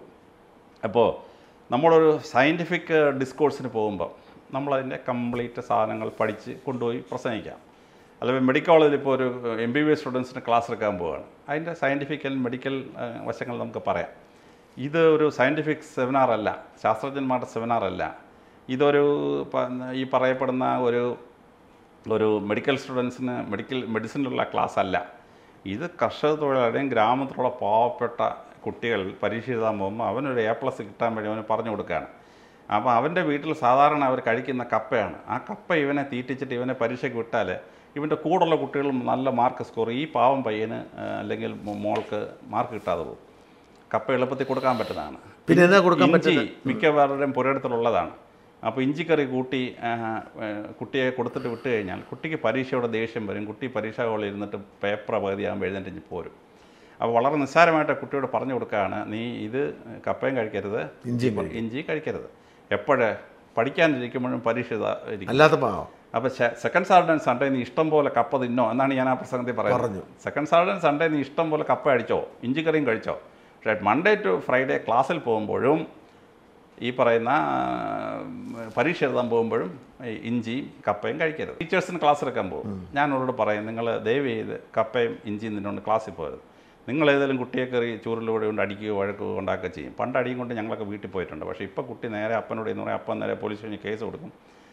വൈകിട്ടാകുമ്പോൾ പോലീസ് നിങ്ങളുടെ വീട്ടിലെത്തും. അതുകൊണ്ട് കുട്ടികളോട് ദേഷ്യപ്പെടാതിരിക്കാൻ വേണ്ടി ഇഞ്ചിയും മുളകരച്ചോറി കറിയും കഴിക്കരുതെന്ന് പറയും. അല്ല സാർ അതുപോലെ തന്നെ കാച്ചിലും ചേനയും ചേമ്പും ഒക്കെ അങ്ങനെ തന്നെയാണ്? അതില്ല. അത് നമുക്ക് അതിനെപ്പറ്റി സ്പെഷ്യൽ റെഫറൻസ് ഒന്നും ഇല്ല. ഇല്ല. അപ്പം നമ്മളിങ്ങനെ ആയിരക്കണക്കിന് പുസ്തകം വായിക്കുമ്പോൾ അതിനകത്തു നിന്നുള്ള bits and piece of information നമ്മളെടുക്കും നമ്മൾ ഈ നമ്മൾ യൂട്യൂബിൽ കയറിയിട്ട് ഈ ഡോക്യുമെന്ററീസ് എടുക്കുമ്പോൾ ഡോക്യുമെന്ററീസിനകത്ത് റയർ ഇൻഫർമേഷൻ ഇങ്ങനെ വരും. ആ റയർ ഇൻഫർമേഷൻ നമ്മൾ എടുത്തിട്ട് ഈ സ്കൂളിൽ പഠിക്കുന്ന കുട്ടിക്കൊരു അമ്പതോ എഴുപതോ പുസ്തകം വായിച്ചൊന്നും തീരുമാനമെടുക്കാൻ പറ്റിയല്ല അപ്പോൾ ഞാൻ ഈ ക്ലാസ്സിൽ പോകുമ്പോൾ ഞാൻ ഇരുന്ന് റിസർച്ച് ചെയ്ത് ഒരു പത്ത് എഴുപത് പുസ്തകത്തിനകത്തുനിന്നുള്ള മെറ്റീരിയൽ എടുത്തിട്ട് ഏതെല്ലാം കുട്ടിയോട് പറയണം ഏതെല്ലാം കുട്ടിയോട് പറയാൻ പാടില്ല എന്ന് ഡിസൈഡ് ചെയ്ത ശേഷം ആ കുട്ടിക്ക് മനസ്സിലാക്കാൻ പറ്റുന്ന ലെവലിലുള്ള സിമ്പിൾ തിങ്സ് ആ കുട്ടിയോട് പറയും പറയുന്നതാണ്. അതിനകത്തൊരു അതൊരു സൗജന്യമായി ചെയ്യുന്ന ഒരു സർവീസാണ്. അപ്പോൾ ഞാൻ ഈ കോൺട്രവേഴ്സി ഇങ്ങോട്ട് വന്നു കഴിഞ്ഞപ്പോൾ എനിക്ക് ആയിരക്കണക്കിന് കോൾ വന്നു. സാറേ സാർ അങ്ങനെ ഞാൻ- എനിക്ക് പഠിത്തത്തിൽ ഇൻട്രസ്റ്റ് ഇല്ലായിരുന്നു കുട്ടിയായിരുന്നു. സാറേ സാർ അത് പറഞ്ഞായിരുന്നു ഞങ്ങൾ കിഴക്കോട്ടിരുന്ന് പഠിക്കാൻ തുടങ്ങി. അങ്ങനെയാണ് സാറേ ഞങ്ങൾ രക്ഷപ്പെട്ടെ. ഞാനൊരു മെഡിക്കൽ കോളേജ് ചെന്നു. ഒരു M B B S students കുറേ പേര് വന്നെന്റെ കാലേ തൊട്ട്. സാറിന്റെ ഞങ്ങൾ അഞ്ചാം ക്ലാസ് പഠിക്കുമ്പോഴാണ് സാറേ ഞങ്ങളുടെ സ്കൂളിൽ വന്ന് അന്ന് ക്ലാസ് എടുത്ത് ഞങ്ങളതനുസരിച്ച് പഠിക്കാൻ തുടങ്ങി. ഞങ്ങൾക്ക് പഠിത്തത്തിൽ നല്ല മാർക്ക് കിട്ടി. ഇപ്പോൾ എം ബി ബി എസിന് പഠിക്കുക സാറേ എന്നൊക്കെ പറഞ്ഞു വരും. അപ്പോൾ എന്റെ യൂട്യൂ എന്റെ ഈ വാട്സപ്പ് അങ്ങ് ജാമായി. ഈ യൂട്യൂബുകാരെന്നെ അറ്റാക്ക് ചെയ്യാൻ തുടങ്ങിയപ്പോൾ തന്നെ എനിക്ക് അനുകൂലമായിട്ടുള്ള വിളികൾ കൊണ്ട് എന്റെ യൂ ഈ വാട്സപ്പ് ജാമായി. ഫേസ്ബുക്ക് കയറി ജാമായി. എനിക്കൊരു four hundred to five hundred calls ഇങ്ങനെ വരാൻ തുടങ്ങി. സപ്പോർട്ട് ചെയ്യുന്ന കോൾസ് മനസ്സിലാവുന്നുണ്ടോ? അപ്പോൾ ഇത് ഒരർത്ഥത്തിൽ വളരെ നന്നായെന്ന് എനിക്ക് തോന്നി. കാരണം വെച്ചാൽ എന്റെ പ്രസംഗം കേട്ടിട്ടില്ലാത്ത അനേകായിരങ്ങൾ ഇപ്പോൾ ഈ കോൺട്രവേഴ്സി കാരണം കേൾക്കുകയും അവരതിനെപ്പറ്റി പഠിക്കുകയും ഇനി അവരുടെ തലച്ചോറ് ഭംഗിയായിട്ട് പ്രവർത്തിക്കാൻ വേണ്ടി അവരത് ഫോളോ അപ്പ് ചെയ്യുകയും ചെയ്യും. അതൊരു പോസിറ്റീവായ ഒരു സംഭവം. ഇതുപോലെ കുറേ വിവാദങ്ങൾ ഞാൻ ഒരുപാട് വിവാദങ്ങളിലേക്ക് പോകുന്നില്ല. അതുപോലെ തന്നെ ഖുറാൻ അല്ല നോമ്പെടുക്കുന്നത് കൊണ്ടാണ് ക്യാൻസർ വരാത്തതെന്ന് സാർ പറഞ്ഞു ഒരിടത്ത് ക്യാൻസർ അതിനകത്തൊക്കെ എന്തെങ്കിലും അല്ല ചിലത് സയന്റിഫിക്കലി പ്രൂവ്ഡാണ് ചിലത് സ്റ്റാറ്റിസ്റ്റിക്കലി പ്രൂവ്ഡാണ് ഇപ്പോൾ ഈ നോമ്പ് നോറ്റാൽ എന്ത് സംഭവിക്കും? അപ്പോൾ അസ്ട്രോണോട്ട്സ് നാസയിൽ നടത്തിയ ഒരു ഗവേഷണമാണ്. അപ്പോൾ ശൂന്യാകാശത്ത് പോകുമ്പോൾ അവർക്ക് ഈ വെയ്റ്റ്ലെസ് കൊണ്ടുകൊണ്ട് ഇങ്ങനെ സാധനങ്ങളിങ്ങനെ പറന്ന് നടക്കും. അപ്പോൾ ഈ ഫുഡ് ഒരു സാധനത്തിന് സ്റ്റോക്ക് ചെയ്തിട്ട് ഇങ്ങനെ കൈ കൊണ്ട് പ്രസ് ചെയ്ത് പ്രസ് ചെയ്ത് വായിക്കാത്തിട്ട് അസ്ട്രോണോട്ട്സിന് ആഹാരം കഴിക്കാൻ പറ്റും. അപ്പോൾ ഈ യന്ത്രം കേടായാൽ how will they survive or how long they can survive എന്നവരൊരു ഗവേഷണം നടത്തി. ഇത് ഈ ഗവേഷണം ഇന്ത്യയിലെ ഗുജറാത്തിലും നടത്തി. ഒരു സന്യാസി ആഹാരം കഴിക്കാത്തൊരു സന്യാസി. അദ്ദേഹത്തെ നമ്മുടെ ഗുജറാത്തിന്റെ തലസ്ഥാനമായ ഗാന്ധിനഗറിൽ മെഡിക്കൽ കോളേജ് കൊണ്ടുവന്നു. He was put in an observation this thing ഒരു ഐ സി യു ഒബ്സർവേഷൻ ഇട്ടു. എന്നിട്ട് they did a research on him how he survives അപ്പോൾ അവർ കണ്ടെത്തിയതാണ് ഈ ആ, വായ്ക്കകത്ത് മുകളിൽ നിന്ന് ഒരു മധുരമുള്ള ലിക്വിഡ് ഇങ്ങനെ വീണുകൊണ്ടിരിക്കുകയാണ്. After three days of starvation കുടലിനകത്ത് നമ്മുടെ ഇന്നർ ലൈനിങ് ആണ് ഈ പെരിറ്റോണിയം ആ പെരിറ്റോണിയത്തിനകത്തുനിന്ന് സ്മോൾ ക്രാക്സ് വീഴും. പെരിറ്റോണിയം പൊട്ടി എന്ന് പറഞ്ഞാൽ ഈ ഒരു മീഡിയ പൊട്ടി പിളരുമോ എന്നൊക്കെ ചോദിച്ചുകൊണ്ട് ഒരു മീഡിയ കിട്ടുന്നു നല്ല രസമുണ്ട്. പൊട്ടുക എന്ന് പറഞ്ഞാൽ മൈക്രോസ്കോപ്പിക് ക്രാക്സ് വീണിട്ട് a defensive thing gets in to the stomach it protects our body അപ്പോൾ ഇന്ത്യയിലെ ഒരുപാട് ഋഷിമാരുണ്ട് ആഹാരം കഴിക്കാത്ത ഋഷിമാരുണ്ട്. ഹൗ ദേ സർവൈവ് അപ്പോൾ ചില സന്യാസിമാർ സൂര്യനെ നോക്കിയിട്ട് കണ്ണിനകത്തോടെ എനർജി അകത്തോട്ട് എടുക്കും. അപ്പോൾ സോളാർ എനർജി എങ്ങനെ അബ്സോർവ് ചെയ്യും? ഇത് കേട്ടാൽ പ്രൊഫസർമാരെല്ലാം പറയുന്ന വട്ട എന്ന് പറയും. മനസ്സിലാവുന്നുണ്ട്. But there are real sanyasis who can absorb light from the sky and get it in to their body പുള്ളിയുടെ ഈ എനർജി റിസർവിലേക്ക് അപ്പോൾ ചില ഫാക്ട്സ് ഈ the true facts are stranger than fiction എന്ന് പറയും ചില സമയത്ത്. ചില ശാസ്ത്ര സത്യം സത്യങ്ങളെന്ന് പറയുന്നത് നമുക്ക് ചിന്തിച്ചാൽ മനസ്സിലാവാത്ത ഒരുപാട് ശാസ്ത്ര സത്യങ്ങളുണ്ട്. ഇപ്പം ഓം സെട്ടി എന്നൊരു സ്ത്രീ ഫറോ റാംസിസ് രണ്ടാമന്റെ കാമുകിയായിരുന്നു അപ്പോൾ ആ കാമുകി മരിച്ചു കഴിഞ്ഞപ്പോൾ ഒരു മൂവായിരത്തി ഇരുന്നൂറ് വർഷം കഴിഞ്ഞു.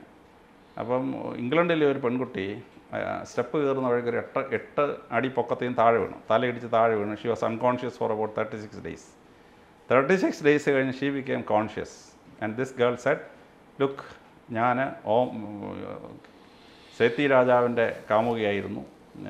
എന്നൊക്കെ പറഞ്ഞ് അവൾ പറഞ്ഞു. അപ്പോൾ ഇവൾ പ്രാന്താന്ന് പറഞ്ഞ് അവർ ട്രീറ്റ് ചെയ്തു. മെന്റൽ ആശുപത്രി കൊണ്ടുവന്നിട്ട് അപ്പോൾ കുട്ടി പതിനഞ്ച് വയസ്സ് കഴിഞ്ഞ ഉടനെ ഈജിപ്തിൽ പോകണമെന്ന് തോന്നി ഈജിപ്തിൽ വന്നിട്ട് ഈ ഓം സേട്ടി അല്ലെങ്കിൽ ഈ സേട്ടി രാജാവിന്റെ ടെമ്പിളിന്റെ അവിടെ വന്നു.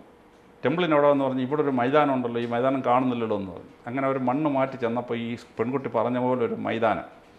എന്നിട്ട് പറഞ്ഞ് ഈ മൈതാനത്തിന് അങ്ങോട്ട് കയറിയപ്പോൾ കുറേ സ്റ്റെപ്പ് ഉണ്ടല്ലോ ആ സ്റ്റെപ്പിലായിരുന്നല്ലോ പണ്ട് രാജാവ് എന്നെ ചുംബിച്ചതെന്നൊക്കെ പറഞ്ഞു. അപ്പോൾ ഈ ശാസ്ത്രജ്ഞന്മാരെന്ത് ചെയ്ത്? പിന്നെ ആ മണ്ണ് മാറ്റി നോക്കുമ്പോൾ ഈ സ്റ്റെപ്സ് അതുപോലെ കാണുന്നു. അപ്പോൾ ഈ ഹിരോഗ്ലിഫിക്സ് വായിക്കാനുള്ള ശ്രമത്തിൽ നാലക്ഷരങ്ങൾ വായിക്കാൻ പറ്റിയിട്ടില്ല. ഈ നമ്മുടെ കമ്പോളിയോൺ ഈ റൊസറ്റ സ്റ്റോണിൽ നിന്ന് വായിച്ചപ്പോൾ rest of the alphabets could be read except for അപ്പോൾ ഈ കുട്ടിയോട് ചോദിച്ചു ഈ നാല് ആൽഫബറ്റ് മാത്രം വായിക്കാൻ പറ്റുന്നില്ല എന്ന് പറഞ്ഞു. ആ കുട്ടി പറഞ്ഞു അയ്യോ അത് ഇതാണെന്ന് പറഞ്ഞു. ആ കുട്ടി ഉടനെ ഈ വായിക്കാൻ പറ്റാത്ത നാല് ആൽഫബറ്റ്സ് എന്താണെന്ന് പറഞ്ഞു. അപ്പോൾ മൂവായിരത്തി ഇരുന്നൂറ് കൊല്ലത്തിന് മുമ്പ് ജീവിച്ചിരുന്ന ഒരു ആത്മാവ് മൂവായിരത്തി ഇരുന്നൂറ് കൊല്ലത്തിന് ശേഷം ഇംഗ്ലണ്ടിൽ ജനിച്ച ഒരു കുട്ടിയുടെ ശരീരത്തിൽ കയറി എന്ന് പറഞ്ഞാൽ വട്ടാന്നല്ലേ എല്ലാവരും പറയുള്ളൂ. അതാണ് ഇംഗ്ലണ്ടിലെ ഡോക്ടർമാർ ആ പെൺകുട്ടിയെ ട്രീറ്റ് ചെയ്യാൻ പോയത്. അപ്പോൾ നയന്റീൻ എയ്റ്റി സിക്സിൽ ഈ പെൺകുട്ടി മരിക്കുന്നതിന് മുമ്പ് അവൾ അവളുടെ ജീവിതത്തിൽ എഴുതിയിട്ടുണ്ട്. Om Sety is life. ഒരു ജീവിതത്തിൽ എഴുതിയിട്ടുണ്ട്.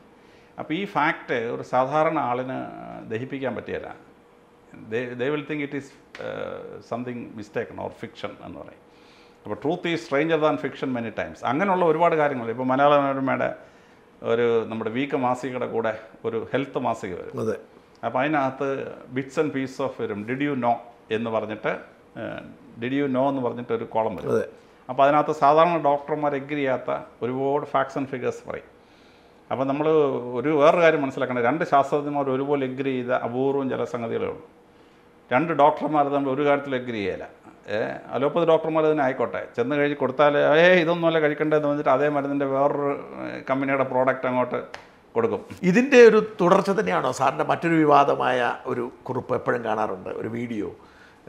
മരിച്ച ആത്മാവിനെ തിരിച്ചു വിളിച്ചിട്ട് കേസ് തെളിയിച്ചു. അതൊക്കെ അത് എന്താ സാർ? അതൊക്കെ എങ്ങനെ വിശ്വസിക്കാൻ പറ്റും? അതായത് ഈ ഐ പി സിയും സി ആർ പി സിയും നമ്മൾ നോർമലി വായിക്കുന്ന രീതിയിൽ ഇന്റർപ്രട്ട് ചെയ്ത് നമുക്ക് കാര്യങ്ങൾ ചെയ്യാം. അപ്പോൾ ഒരു കേസ് നമ്മൾ അന്വേഷിച്ച് നോർമലി തെളിയിക്കാൻ പറ്റിയില്ലെങ്കിൽ നമുക്കതിനെ അൺഡിറ്റക്റ്റഡ് എന്ന് പറഞ്ഞാൽ തട്ടാം. അൺഡിറ്റക്റ്റഡ് എന്ന് തട്ടിക്കഴിഞ്ഞാൽ ആ പ്രതി മരിച്ചുപോയ വിക്ടിമിന്റെ ആൾക്കാർക്ക് യാതൊരു ബെനിഫിറ്റും കിട്ടത്തില്ല. ഇല്ല.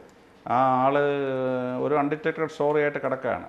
പോലീസിന് വെച്ച് ക്ഷീണമുള്ള സംഭവമാണ് അൺഡിറ്റക്റ്റഡ് യു എൻ എന്ന് പറഞ്ഞെങ്കിൽ റെഫർ ചെയ്യും അപ്പോൾ ഞാൻ ചെയ്യുന്നതെന്ന് വെച്ചാൽ നോർമലി ഒരു കേസ് അന്വേഷിച്ച് സയന്റിഫിക് എവിഡൻസ് കിട്ടാത്ത ഒരു സ്ഥലം എത്തുമ്പോൾ സയന്റിഫിക് അല്ലാത്ത എവിഡൻസ് എങ്ങനെയും ഒപ്പിക്കാനൊക്കെ നോക്കും. ഓ അങ്ങനെ. അതായത് തെളിയാൻ പറ്റത്തില്ല എന്ന് തെളിയാൻ പറ്റത്തില്ല എന്ന് ഉറപ്പായാൽ ആ ആളിന് നീതി കിട്ടണമല്ലോ. അപ്പോൾ ആ ആളിന് നീതി കിട്ടാൻ വേണ്ടി നമ്മൾ വേറൊരു രീതിയിൽ അത് അന്വേഷിക്കാൻ പറ്റുമെന്ന് നോക്കും. അപ്പോൾ സാധാരണ പോലീസ് ഉദ്യോഗസ്ഥൻ അതിനെ യു എൻ ആക്കി റെഫർ ചെയ്യും. അൺഡിറ്റക്റ്റഡ് ആയിട്ട് റെഫർ ചെയ്യും. എന്റെ മനസാക്ഷി ഇത് അനുവദിക്കുകയില്ല. എന്റെ മനസാക്ഷി ശാസ്ത്രീയ കുറ്റാന്വേഷണം അല്ലാത്ത എന്തെങ്കിലും മാർഗമുണ്ടോ എന്ന് പരിശോധിക്കും. അപ്പോൾ തളിപ്പറമ്പിൽ ഒരു കച്ചവടക്കാരൻ ഇങ്ങനെ കടയിൽ നിന്ന് ഇറങ്ങി വരുന്നു. ഒമ്പതിനായിരത്തി അഞ്ഞൂറ് രൂപയുടെ മടി കുത്തിലുണ്ട്. ഇയാളെ വഴിക്കിട്ട് വീട്ടിലോട്ട് ചെല്ലുന്നിട്ട് നൂറ് മീറ്റർ ഇപ്പുറത്തിട്ട് കുത്തിക്കൊന്നു. നേരം വെളുത്ത് നോക്കുമ്പോൾ ഇയാൾ രാത്രി ഇയാൾ വീട്ടിൽ ചെല്ലാതായപ്പോൾ അന്ന് ഈ ഫോണും ഒന്നുമില്ല റിമോട്ട് ഏറിയ. നേരം വെളുക്കുന്നൊരു ഈ ഈ കടക്കാരനെ കാണാതെ രാവിലെ ആയപ്പം ഭാര്യയും മക്കളൊക്കെ ആളുകളെ വിളിച്ച് പറഞ്ഞ് ആളുകളെല്ലാം വന്ന് അന്വേഷിച്ച് പോകുമ്പോൾ വീട്ടിൽ നിന്ന് നൂറ്റമ്പത് മീറ്റർ അകലെ ഒരു സ്ട്രീറ്റ് ലൈറ്റിന്റെ അടുത്തായിട്ട് ഇയാൾ മരിച്ച് കിടക്കുക അഞ്ച് ദിവസം ഞങ്ങൾ തലകുത്ത് നിന്നു. യാതൊരു രക്ഷയില്ല. അപ്പോഴേ ഗോപിനാഥ മേനോൻ ഇപ്പോഴും ജീവിച്ചിട്ടുണ്ട് ചേർത്തല ജീവിച്ചിട്ടുണ്ട് ഗോപിനാഥ മേനോനും വേറൊരു ഡി എസ് പി ഗോപിനാഥൻ നായരും. രണ്ടുപേരുടെ എന്റെ അടുത്ത് സാറേ ഈ മരിച്ചാളിനൊന്ന് വിളിപ്പിച്ചാൽ. ഞാൻ പറഞ്ഞു അതെങ്ങനെ വിളിപ്പിക്കാൻ പറ്റും?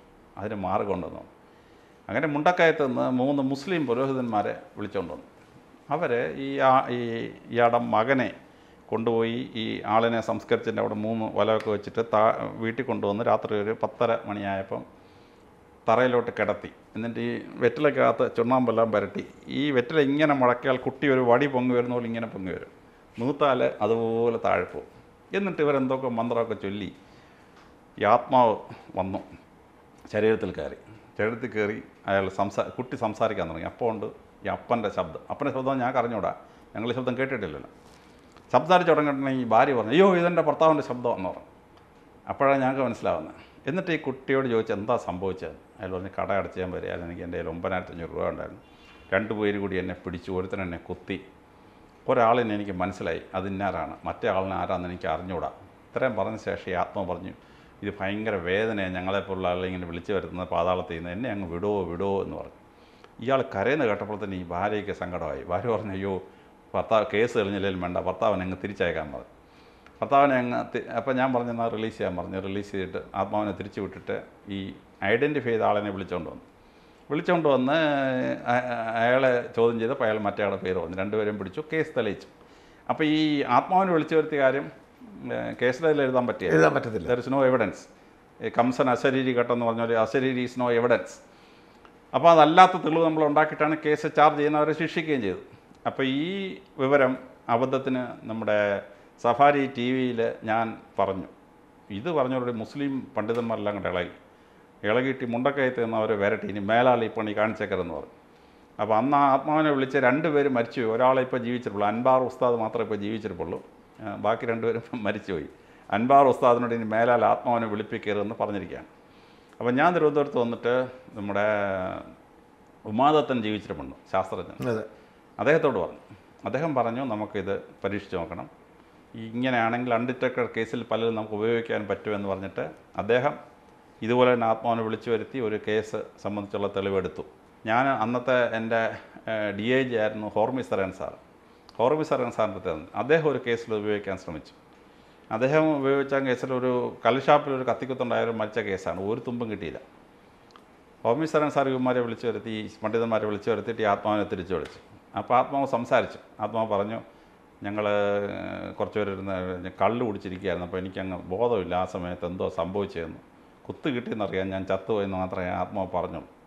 ഹി വാസ് ഫുള്ളി ഡ്രങ്ക് മരിച്ച കുത്ത് കിട്ടുന്നതിന് മുമ്പ് അദ്ദേഹം ഫുള്ളി ഡ്രങ്ക് ആയിരുന്നു. അതുകൊണ്ട് ഹി ഡസൻ റിമെമ്പർ അപ്പോൾ ഈ ശാസ്ത്രീയമായി ഞാൻ ആലോചിക്കുമ്പോൾ ഈ കുട്ടിയുടെ ഉപബോധ മനസ്സിൽ സബ് കോൺഷ്യസ് മൈൻഡിൽ കുട്ടിയുടെ അച്ഛനെ ഇന്നാരായിരിക്കാൻ കൊന്ന കൊന്നതെന്നുള്ളൊരു സംശയം ഉള്ളതുകൊണ്ട് കുട്ടിയുടെ മനസ്സങ്ങ് പറഞ്ഞതാണോ എന്ന് ഞാൻ സംശയിച്ചു അന്ന്. പക്ഷേ ശബ്ദം മാറുന്നത് എങ്ങനെയാണ്? അച്ഛന്റെ ശബ്ദം എങ്ങനെ വന്നു? മിമിക്രി മാറുന്നത് പോലെ. ഇങ്ങനെ ഇരിക്കുമ്പോഴാണ് സി ബി ഐ അന്വേഷിച്ച ഒരു case C B I bulletin publish ചെയ്തു. വിജയവാഡയ്ക്ക് അടുത്തുള്ള ഒരു സ്ഥലത്ത് ഒരു പെൺകുട്ടിയെ അമ്മ മരിച്ച ഒറ്റയ്ക്ക് താമസിച്ച ഒരു പെൺകുട്ടിയെ കഴുത്ത് ഞെരിച്ച് കൊന്ന് ഇട്ടിരിക്കുന്നതായിട്ട് കണ്ടു. ഒരു തുമ്പും കിട്ടിയില്ല കേസ്. കുറച്ചു കാലം കഴിഞ്ഞ് അവിടുത്തെ ഒരു സബ് ഇൻസ്പെക്ടർ വന്നു. സബ് ഇൻസ്പെക്ടർ വന്നപ്പോൾ ഈ സമയത്ത് താമസിക്കാൻ സ്ഥലമില്ല. അപ്പോഴേ ആരാണ്ട് പറഞ്ഞു ഇങ്ങനൊരു വീടുണ്ട്. സാറിന് ഭൂതത്തെ ഒന്നും പേടിയില്ലെങ്കിൽ അവിടെ താമസിക്കാമെന്ന് പുള്ളി പറഞ്ഞു എനിക്കൊരു ഭൂതത്തെയും പിടിയില്ല എന്ന് പറഞ്ഞ് അദ്ദേഹം കയറി താമസിച്ചു. രാത്രി ആയപ്പോൾ വെള്ള വസ്ത്രമിട്ട ഒരു സ്ത്രീ അടച്ചിട്ട മുറിക്കകത്ത് വന്നു. അപ്പോൾ ഈ എസ് ഐ വിചാരിച്ചേട്ടൻ കഥ ഞങ്ങളൊക്കെ അടച്ചിട്ടിരിക്കുകയല്ല. അപ്പോൾ ചോദിച്ചു നീ ആരാ? ഞാനാണ് ഈ കൊല്ലപ്പെട്ട സ്ത്രീ. എന്ന് പറഞ്ഞ് ഈ സ്ത്രീ കഥ പറയാൻ തുടങ്ങി. എസ് ഐ പേപ്പർ മേനടുത്തെല്ലാം എഴുതിയെടുത്തു. എഴുതിയെടുത്തിട്ട് ഈ അവളുടെ അമ്മ മരിച്ചു കഴിഞ്ഞപ്പോൾ ഒരു കാമുകനുണ്ടായിരുന്നു. കാമുകൻ വന്നിട്ട് കഴുത്തിരിച്ച് കൊന്നിട്ട് എന്റെ സ്വർണമൊക്കെ എടുത്തുകൊണ്ട് പോയി. പക്ഷേ കാമുകൻ വരുമെന്ന് ഭയപ്പെട്ടിട്ട് എന്റെ മേജർ സ്വർണം ഞാൻ അടുക്കളയുടെ അവിടെ കുഴിച്ചിട്ടിട്ടുണ്ട്. പകുതിയെ ഇവൻ കൊണ്ടുപോയിട്ടുള്ളൂ. അവന്റെ ഡൽഹിയിൽ അഡ്രസ്സ് ഇന്നതാന്ന് പറഞ്ഞു. അങ്ങനെ എസ് ഐ ഡൽഹിയിൽ ചെന്ന് ഈ ഇവനെ പിടികൂടി. പിടികൂടി കൊണ്ടുവന്ന് കേസ് ട്രൈ ചെയ്ത് ശിക്ഷിക്ക് ശിക്ഷിച്ചു. തെളിവാണ് രേഖയിലുണ്ട് ഇത്. ആ. ഇത് C B I bullet C B I bullet എന്ന് പറഞ്ഞാൽ സി ബി ഐ പബ്ലിഷ് ചെയ്തൊരു ഇതിലുണ്ട്. റിയൽ ഇൻവെസ്റ്റിഗേഷൻ ഞാൻ വേണേൽ എന്റെ ഫോട്ടോ കോപ്പി എത്തിച്ചേരാം ആ ലേഖനത്തിന്റെ. അങ്ങനെ ആ കേസ് തെളിയിച്ചു. അപ്പോൾ ഈ ജഡ്ജിയെ വിളിച്ചുകൊണ്ട് വന്നിട്ട് ജഡ്ജി ജഡ്ജിയെ കൊണ്ടുവന്നിട്ട് ഈ അടുക്കളയുടെ അവിടെ കുഴിച്ചിട്ടുണ്ടെന്ന് കള്ളൻ ഈ മോഷ്ടിച്ച കൊല്ലപ്പോൾ കൊന്ന ആൾ പറഞ്ഞു എന്ന് പറഞ്ഞു. കാര്യം ട്വന്റി സെവൻ റിക്കർ കാണിച്ചെങ്കിലേ എവിഡൻസ് ആവുള്ളൂ. ആത്മാവ് പറഞ്ഞെന്ന് പറഞ്ഞാൽ കോടതിയിൽ എവിഡൻസ് ആവില്ല. അപ്പോൾ ഇവനെ പിടിച്ചു പ്രതിയെ പിടിച്ചപ്പോൾ പ്രതി സമ്മതിച്ചു. അതുകൊണ്ട് ഭൂമിക്കടയിൽ നിന്ന് ജഡ്ജിയുടെ സാന്നിധ്യത്തിലെടുത്തു. അങ്ങനെ ട്വന്റി സെവൻ റിക്കവറി വെച്ചിട്ട് അവനെ ശിക്ഷിച്ചു അവൻ ജയിലിനകത്തായി. തൂക്കിക്കൊന്നില്ല. ജീവരേന്ദ്രൻ ജയിലിനകത്തായി. പതിനാല് വർഷം പിന്നെ പണിഷ്മെന്റ് കിട്ടി. അപ്പോൾ ഇത് സി ബി ഐ ഇന്ത്യയുടെ ഏറ്റവും വലിയ അന്വേഷണ ഏജൻസിയാണ് C B I C B I officially publish ചെയ്ത ഒരു സംഭവമാണ് ഇത് എന്ന് പറയുന്നത്. അപ്പോൾ ഈ ആത്മാവുണ്ടോ ഇല്ലയോ എന്ന് ചോദിച്ചു കഴിഞ്ഞാൽ അത് അതിലും വലിയൊരു പ്രശ്നമാണ്. അപ്പം ഞാൻ കോട്ടയം എസ് പി ആയിരുന്നു. അപ്പോൾ സൂര്യകാലടി ഇല്ല എന്ന് പറയുന്ന പണ്ട് രക്തരക്ഷസിനെ വിളിച്ച് പിടിച്ചു കെട്ടിയ സൂര്യകാലടി പട്ടതിരിപ്പാറുടെ ഇല്ലമുണ്ട് ഇപ്പോഴും ഉണ്ടല്ലോ. ഇപ്പോഴും ഉണ്ടല്ലോ വിളിച്ചിരുന്നു അപ്പം എന്റെ അത്ര അവിടുന്ന് രണ്ട് ആ കുടുംബത്തിൽ നിന്ന് രണ്ട് ക്ലർക്കന്മാർ എന്റെ ഓഫീസിലുണ്ട്. അപ്പം ഞാൻ ചോദിച്ചു ഇപ്പം സൂര്യകാലുള്ള എല്ലാത്തിൽ ശക്തിയൊക്കെ ഉള്ള ആളുകളാലും ഓ ഞങ്ങളുടെ ഒരു വല്യമ്മാവനുണ്ടെന്ന് പറഞ്ഞു. അടുത്ത കാലത്ത് മരിച്ചു പോയി അടുത്ത കാലത്ത് മരിച്ചു വല്യമ്മാവനുണ്ടെന്ന് പറഞ്ഞു. അപ്പം ഞാൻ പറഞ്ഞു എനിക്ക് ഈ വല്യമ്മാവനൊന്ന് കാണണമെന്ന് പറഞ്ഞു. അപ്പോൾ അവർ പറഞ്ഞു വാന്ന് പറഞ്ഞു. ഞാൻ എന്റെ വണ്ടിക്കകത്ത് കയറ്റി അവരെയും കൊണ്ട് അവിടെ വല്യമ്മാവന്റെ വീട്ടിൽ പോയി. ഒരു പഴയ ഇല്ല ഒരു ഇടിഞ്ഞ് പൊളിഞ്ഞ് കിടക്കുന്ന ഒരു ഇല്ലമാണ് അപ്പോൾ അവിടെ ചെന്ന് വർത്താനൊക്കെ ചായ കുടിച്ച് കഴിഞ്ഞ് ഞാൻ അദ്ദേഹത്തോട് പറഞ്ഞു എനിക്കൊരു ഒരു കാര്യം അങ്ങൊന്ന് പറഞ്ഞുതരാമെന്ന് ചോദിച്ചു. അദ്ദേഹം ഞാൻ അദ്ദേഹം ചോദിച്ചു എന്തോ? ഞാൻ പറഞ്ഞു ആത്മാവനെ ഒന്ന് കാണിച്ചു തരാമെന്ന് ചോദിച്ചു. അപ്പോൾ അദ്ദേഹം പറഞ്ഞു ധൈര്യമുണ്ടോ?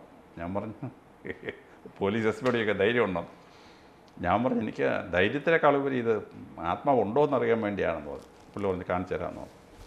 അങ്ങനെ പുള്ളി എന്നെ ഒരു മുറി തൊട്ടപ്പുറത്തൊരു മുറിക്കകത്ത് കയറ്റി ഒരു ബ്ലാങ്ക് വോളുള്ള ഒരു മുറി. എന്നിട്ട് രണ്ട് പേരെ കൊണ്ടുവന്നിട്ട് എന്നെ മുറിക്കകത്ത് ഒരു കസരയിരുത്തി എന്നിട്ട് രണ്ട് പേരെ ഒരു കർട്ടനുമായിട്ട് വന്നു. എന്നിട്ട് കർട്ടൻ ഇങ്ങനെ പിടിച്ച ഭിത്തിയുടെ നേരെ ഫ്രണ്ടിൽ. അവർക്ക് പുറകോട്ട് കാണാൻ പറ്റത്തില്ല ഇങ്ങോട്ട് മാത്രമേ കാണത്തുള്ളൂ. എന്നിട്ട് ഈ സൂര്യകാലടി ഭട്ടതിരി മന്ത്രം ചൊല്ലാൻ തുടങ്ങി. മന്ത്രം ചൊല്ലി കുറച്ച് കഴിഞ്ഞപ്പോൾ ഒരു ആറിഞ്ച് നീളത്തിൽ ഒരു മനുഷ്യരൂപം വന്നു സ്വർണ നിറത്തിൽ. എന്നിട്ട് കൈയും കാലും ഒക്കെ ഇട്ടടിച്ച് ഇങ്ങനെ ഡാൻസ് ചെയ്യുന്നു. അപ്പോഴേ ഈ കട്ട് ഈ കർട്ടൻ ഉണ്ടല്ലോ ഇവരങ്ങ് താപ്പോട്ടിട്ടു. താപ്പോട്ടിട്ടപ്പോൾ എനിക്ക് നേരിട്ട് കാണായി ഈ ആത്മാവിനെ. ഈ dances in a golden colour. അരയടി നീളമുള്ള ഈ ലില്ലിപ്പുട്ടിലെ മനുഷ്യരുടെ കഥ പറഞ്ഞ പോലുള്ള ആത്മാവാണ്. അപ്പോൾ ഇദ്ദേഹം മന്ത്രം നിർത്തുമ്പോൾ ആത്മാവ് ഡിസപ്പിയർ ചെയ്തു. ഇവർ തിരിഞ്ഞു നോക്കാതെ ഈ കട്ടണം കൊണ്ടങ്ങ് ഇറങ്ങി വാതിൽ കൂടെ അങ്ങ് പോയി. അപ്പോൾ ഞാൻ വലിയ ധൈര്യശാലിയാന്നൊക്കെ അന്ന് പറഞ്ഞെങ്കിലും എനിക്ക് പനി വന്നുപോയി ഇത് കണ്ടു കഴിഞ്ഞ് അന്ന് രാത്രി. മൂന്നാൽ ദിവസത്തേക്ക് കടുകട പനിയായിപ്പോയി. പുറത്തിറങ്ങാൻ പറ്റാത്ത ഷിവറിങ് അതുപോലത്തെ പനിയായിപ്പോയി. അപ്പോൾ ഇത് മന്ത്രം ചൊല്ലിയപ്പോൾ സംഭവിച്ചെന്താണെന്ന് ചോദിച്ചാൽ വി കനോട്ട് പ്രൂവ് ഇറ്റ് അപ്പോൾ രണ്ട് ശാസ്ത്രജ്ഞന്മാരും കൂടെ ഒരേ പോയിന്റ് എഗ്രി ചെയ്യത്തില്ല. രണ്ട് ഡോക്ടർമാർ ഒരേ പോയിന്റ് എഗ്രി ചെയ്യത്തില്ല. അപ്പോൾ ഇത് ശാസ്ത്രീയമായ ഒരു ലബോറട്ടറിയിൽ വെച്ച് ഇങ്ങനെ ആത്മാവിനെ കാണിക്കാൻ പറ്റുമോ എന്ന് ചോദിച്ചാൽ സൂര്യകാലയുടെ പട്ട് ഇപ്പോൾ സൂര്യകാലയുടെ ആരെങ്കിലും അത് ഉണ്ടോയെന്ന് പറഞ്ഞു വല്യമാവൻ മരിച്ചുപോയി അല്ല ആളുണ്ട് പക്ഷേ അത്രയില്ല അത്ര ഇല്ല. അപ്പം ഞാൻ ചോദിക്കട്ടെ സാറേ എന്റെ ഒരു കൗതുകം ഒരു മനുഷ്യൻ മരിക്കുമ്പോൾ എന്തായിരിക്കും സംഭവിക്കുന്നത്? ഞാൻ പറഞ്ഞു ഞാനെങ്കിൽ നോക്കിയിരിക്കുമ്പോൾ ജീവൻ പോകുന്നത് കാണും. അത് എങ്ങോട്ടായിരിക്കും പോകുന്നത്? ആയിരക്കണക്കിന് വർഷമായി മനുഷ്യനെ അമ്പരപ്പിച്ച ഒരു സംഭവമാണ് എന്താണ് ഈ മരിക്കുമ്പോൾ സംഭവിക്കുന്നതെന്ന്. അപ്പോൾ അതിനെപ്പറ്റി ഏറ്റവും വലിയ റിസർച്ച് നടന്നു യൂറോപ്പിലെ ഡോക്ടർമാരാണ്. അതിനെപ്പറ്റി റിസർച്ച് ചെയ്ത ശേഷം ഒരു പുസ്തകം പബ്ലിഷ് ചെയ്തിട്ടുണ്ട്. At the hour of death അതായത് മരിച്ചു കഴിഞ്ഞ് മരിച്ചു എന്ന് ഡോക്ടർമാർ സർട്ടിഫൈ ചെയ്ത ശേഷം രോഗികൾ തിരിച്ച് ജീവനോട് വന്ന കേസുകൾ അവരെടുത്തു. നൂറ്റി മുപ്പത്തഞ്ച് കേസെടുത്തു. എന്നിട്ട് അതിനകത്ത് മുപ്പത്തിയെട്ട് കേസ് അവർ ഡോക്യുമെന്റ് ചെയ്തു കംപ്ലീറ്റ്. അപ്പോൾ ഈ ഡോക്ടർമാർ ഡിക്ലെയർഡ് ഡെഡ്. അത് കഴിഞ്ഞിട്ട് കുറച്ച് കഴിഞ്ഞ് ജീവൻ തിരിച്ച് വന്ന കേസസാണ്. അപ്പോൾ ആ കേസിനകത്ത് ഈ രോഗി ഇവരെല്ലാം പറയുന്ന ഒരേ സംഭവമാണ്. അതായത് അവർ മരിച്ചു കുറച്ച് കഴിഞ്ഞപ്പോൾ അവർ ശരീരത്തിൽ നിന്ന് ഇങ്ങനെ പൊങ്ങി പൊങ്ങി പോയി ഡെഡ് ബോഡി കിടക്കുന്നവർ കണ്ടു.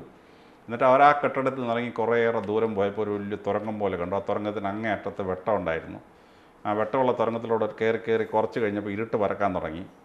അത്ര ആയപ്പോഴത്തേന് ആ പോക്കങ്ങ് നിലച്ചു. മുമ്പോട്ട് പോകാൻ പറ്റാതായി. കുറച്ച് കഴിഞ്ഞ് തിരിച്ച് ഇങ്ങോട്ട് വരും വരാൻ തുടങ്ങി. വരാൻ തുടങ്ങി കുറേയേറെ കഴിഞ്ഞ് വീണ്ടും ആശുപത്രിയിലെത്തി. അപ്പോൾ വീണ്ടും ഞങ്ങൾ ഡെഡ് ബോഡി കണ്ടു. ആ ഡെഡ് ബോഡി അടുത്ത് നിന്ന് അതിനകത്തോട്ടങ്ങ് പ്രവേശിച്ചു എന്നാണ് കോമൺ ആയ സ്റ്റോറി. ഈ പുസ്തകം എന്റെ എന്റെ കയ്യിലുണ്ട്. എന്റെ ലൈബ്രറിയിലുള്ള പുസ്തകമാണ്. At the hour of death എന്ന് പറയുന്ന വിശ്വപ്രസിദ്ധമായ ഡോക്ടർമാർ പബ്ലിഷ് ചെയ്ത പുസ്തകമാണ്. പക്ഷേ എന്റെ ഒരു അങ്കിൾ ഇതുപോലെ മരണം ഡിക്ലെയർ ചെയ്ത് ജീവിച്ചിരിക്കുന്ന ഒരാളുണ്ട്. ജെ അലക്സാണ്ടർ എന്ന് പറയും. പഴയ എസ് പി ആ, എസ് എ പിയിലൊക്കെ അദ്ദേഹത്തെ മാറിയോനസ് ജീവിച്ചിരിപ്പുണ്ട്. ആ ജീവിച്ചിരിപ്പുണ്ട് മാറിയോനസ് വെച്ചിട്ട് കോളേജ് വെച്ച് പാമ്പ് കടിച്ചു. പാമ്പ് കടിച്ച് ഇദ്ദേഹത്തെ മെഡിക്കൽ കോളേജിൽ കൊണ്ടുവന്ന് മെഡിക്കൽ കോളേജിലെ ഡോക്ടർ പൈ എന്ന മഹാനായ ഡോക്ടർ പൈ പൈൻ പൈയും ടീമും എല്ലാം കൂടെ ചികിത്സിച്ച് രാത്രി ഒരു പതിനൊന്ന് മണിയായപ്പം ഡിക്ലെയർഡ് ഡെഡ് മരിച്ചെന്ന് ഡോക്ടർമാരെ സർട്ടിഫൈ ചെയ്തു. സർട്ടിഫൈ ചെയ്ത് കഴിഞ്ഞു പോലീസിലാ. ഇല്ല ഇല്ല. അദ്ദേഹം ഒന്ന് മാറിയോനസ് കോളേജിലെ സ്റ്റുഡന്റാണ് സ്റ്റുഡന്റാ ഡിക്ലെയർഡ് ഡെഡ് അപ്പോഴാ മെഡിക്കൽ കോളേജിലുള്ള ഒരു സ്റ്റുഡന്റ് ഈ ഡോക്ടർ പയോട് ചോദിച്ചു ഞാൻ ഈ ഡെഡ് ബോഡിയിൽ ഒരു റിസർച്ച് നടത്തിക്കോട്ടെ എന്ന് ചോദിച്ചു. ഡോക്ടർ പൈ പറഞ്ഞ് മരിക്കുന്നവരെ നമുക്ക് അവകാശമുള്ളൂ. മരിച്ചു കഴിഞ്ഞാൽ മരിച്ച ആളിന്റെ അപ്പന് ഉണ്ടെങ്കിൽ അപ്പന് മാത്രമേ ഇത് അനുവാദം കൊടുക്കാൻ പറ്റത്തുള്ളൂ അപ്പോൾ ഈ മെഡിക്കൽ സ്റ്റുഡന്റ് എന്റെ അങ്കിളിന്റെ ഫാദറിന്റെ അടുത്ത് വന്നു.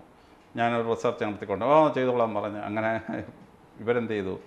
ഈ സ്റ്റിറോയിഡും ഹോട്ട് വാട്ടറും കൂടെ കുറച്ച് ഗ്ലൂക്കോസും സ്റ്റിറോയിഡും ഹോട്ട് വാട്ടറും കൂടെ ഈ മരിച്ച ആളിന്റെ ആർട്ടറിനകത്തോട്ട് പമ്പ് ചെയ്യാൻ തുടങ്ങി കുറേയേറെ പമ്പ് ചെയ്തു. എത്ര നേരം കഴിഞ്ഞിട്ടായിരിക്കും ഇത്? ഏഹ് ഈ മരണം കഴിഞ്ഞ് എത്ര നേരം മരിച്ചു കഴിഞ്ഞ്? കഴിഞ്ഞൊരു half within half an hour okay.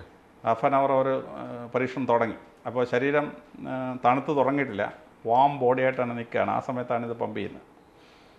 Pump ചെയ്ത് പമ്പ് ചെയ്ത് പമ്പ് ചെയ്തൊരു ഒരു ഒന്നൊന്നര മണിക്കൂർ കഴിഞ്ഞപ്പോഴത്തേന് പതുക്കെ ഈ ആളിന്റെ കണ്ണിമ വെട്ടുന്നതാണ്. പിന്നെ ഈ ബോഡി പതുക്കെ റിവൈവ് ചെയ്യാൻ തുടങ്ങി. അപ്പോൾ നേരം വെളുത്തൊരു അഞ്ചര മണിയായപ്പം ഈ കുട്ടി ഡോക്ടറെ പോയി വിളിച്ചു. ഡോക്ടറെ മരിച്ചെന്ന് പറയുന്ന ആളിപ്പം ജീവനുണ്ടെന്നാണ് ഞങ്ങൾ സംശയിക്കുന്നത് പറഞ്ഞു.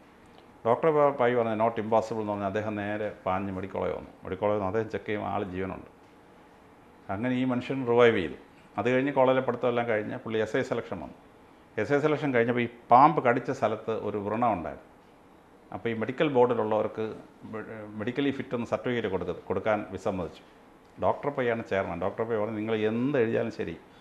ഞാനാണ് ഈ മനുഷ്യനെ ഡിക്ലെയർ ഡെഡ് കഴിഞ്ഞ ജീവനുണ്ടോ ഞാൻ ഫിറ്റെന്ന് എഴുതുന്നു പറഞ്ഞു അപ്പോൾ ഡോക്ടർ പോയി എതിരെ എഴുതാൻ മെമ്പേഴ്സിന് കഴിയാത്തതുകൊണ്ട് ഫിറ്റ് എഴുതി അദ്ദേഹം പോലീസിൽ കയറി എസ് ഐ പിയുടെ കമാൻഡന്റായിട്ട് റിട്ടയർ ചെയ്തു. എത്ര വയസ്സായി?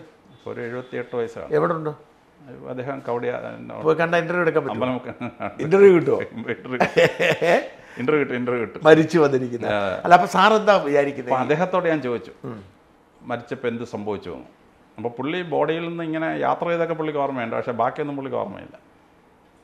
സോ ലോങ് നോട്ട് റിവൈവ്ഡ് അപ്പോൾ ഒരു കത്തോലിക്ക സഭയിൽ ഒരു പുരോഹിതൻ എന്നെ വിളിച്ചു. സാർ കത്തോലിക്കനല്ലേ? സാർ എന്താ ഇങ്ങനെയൊക്കെ ആത്മാവിനെ തിരിച്ചു വിളിക്കാമെന്നൊക്കെ പറയുന്നത് ചോദിച്ചു.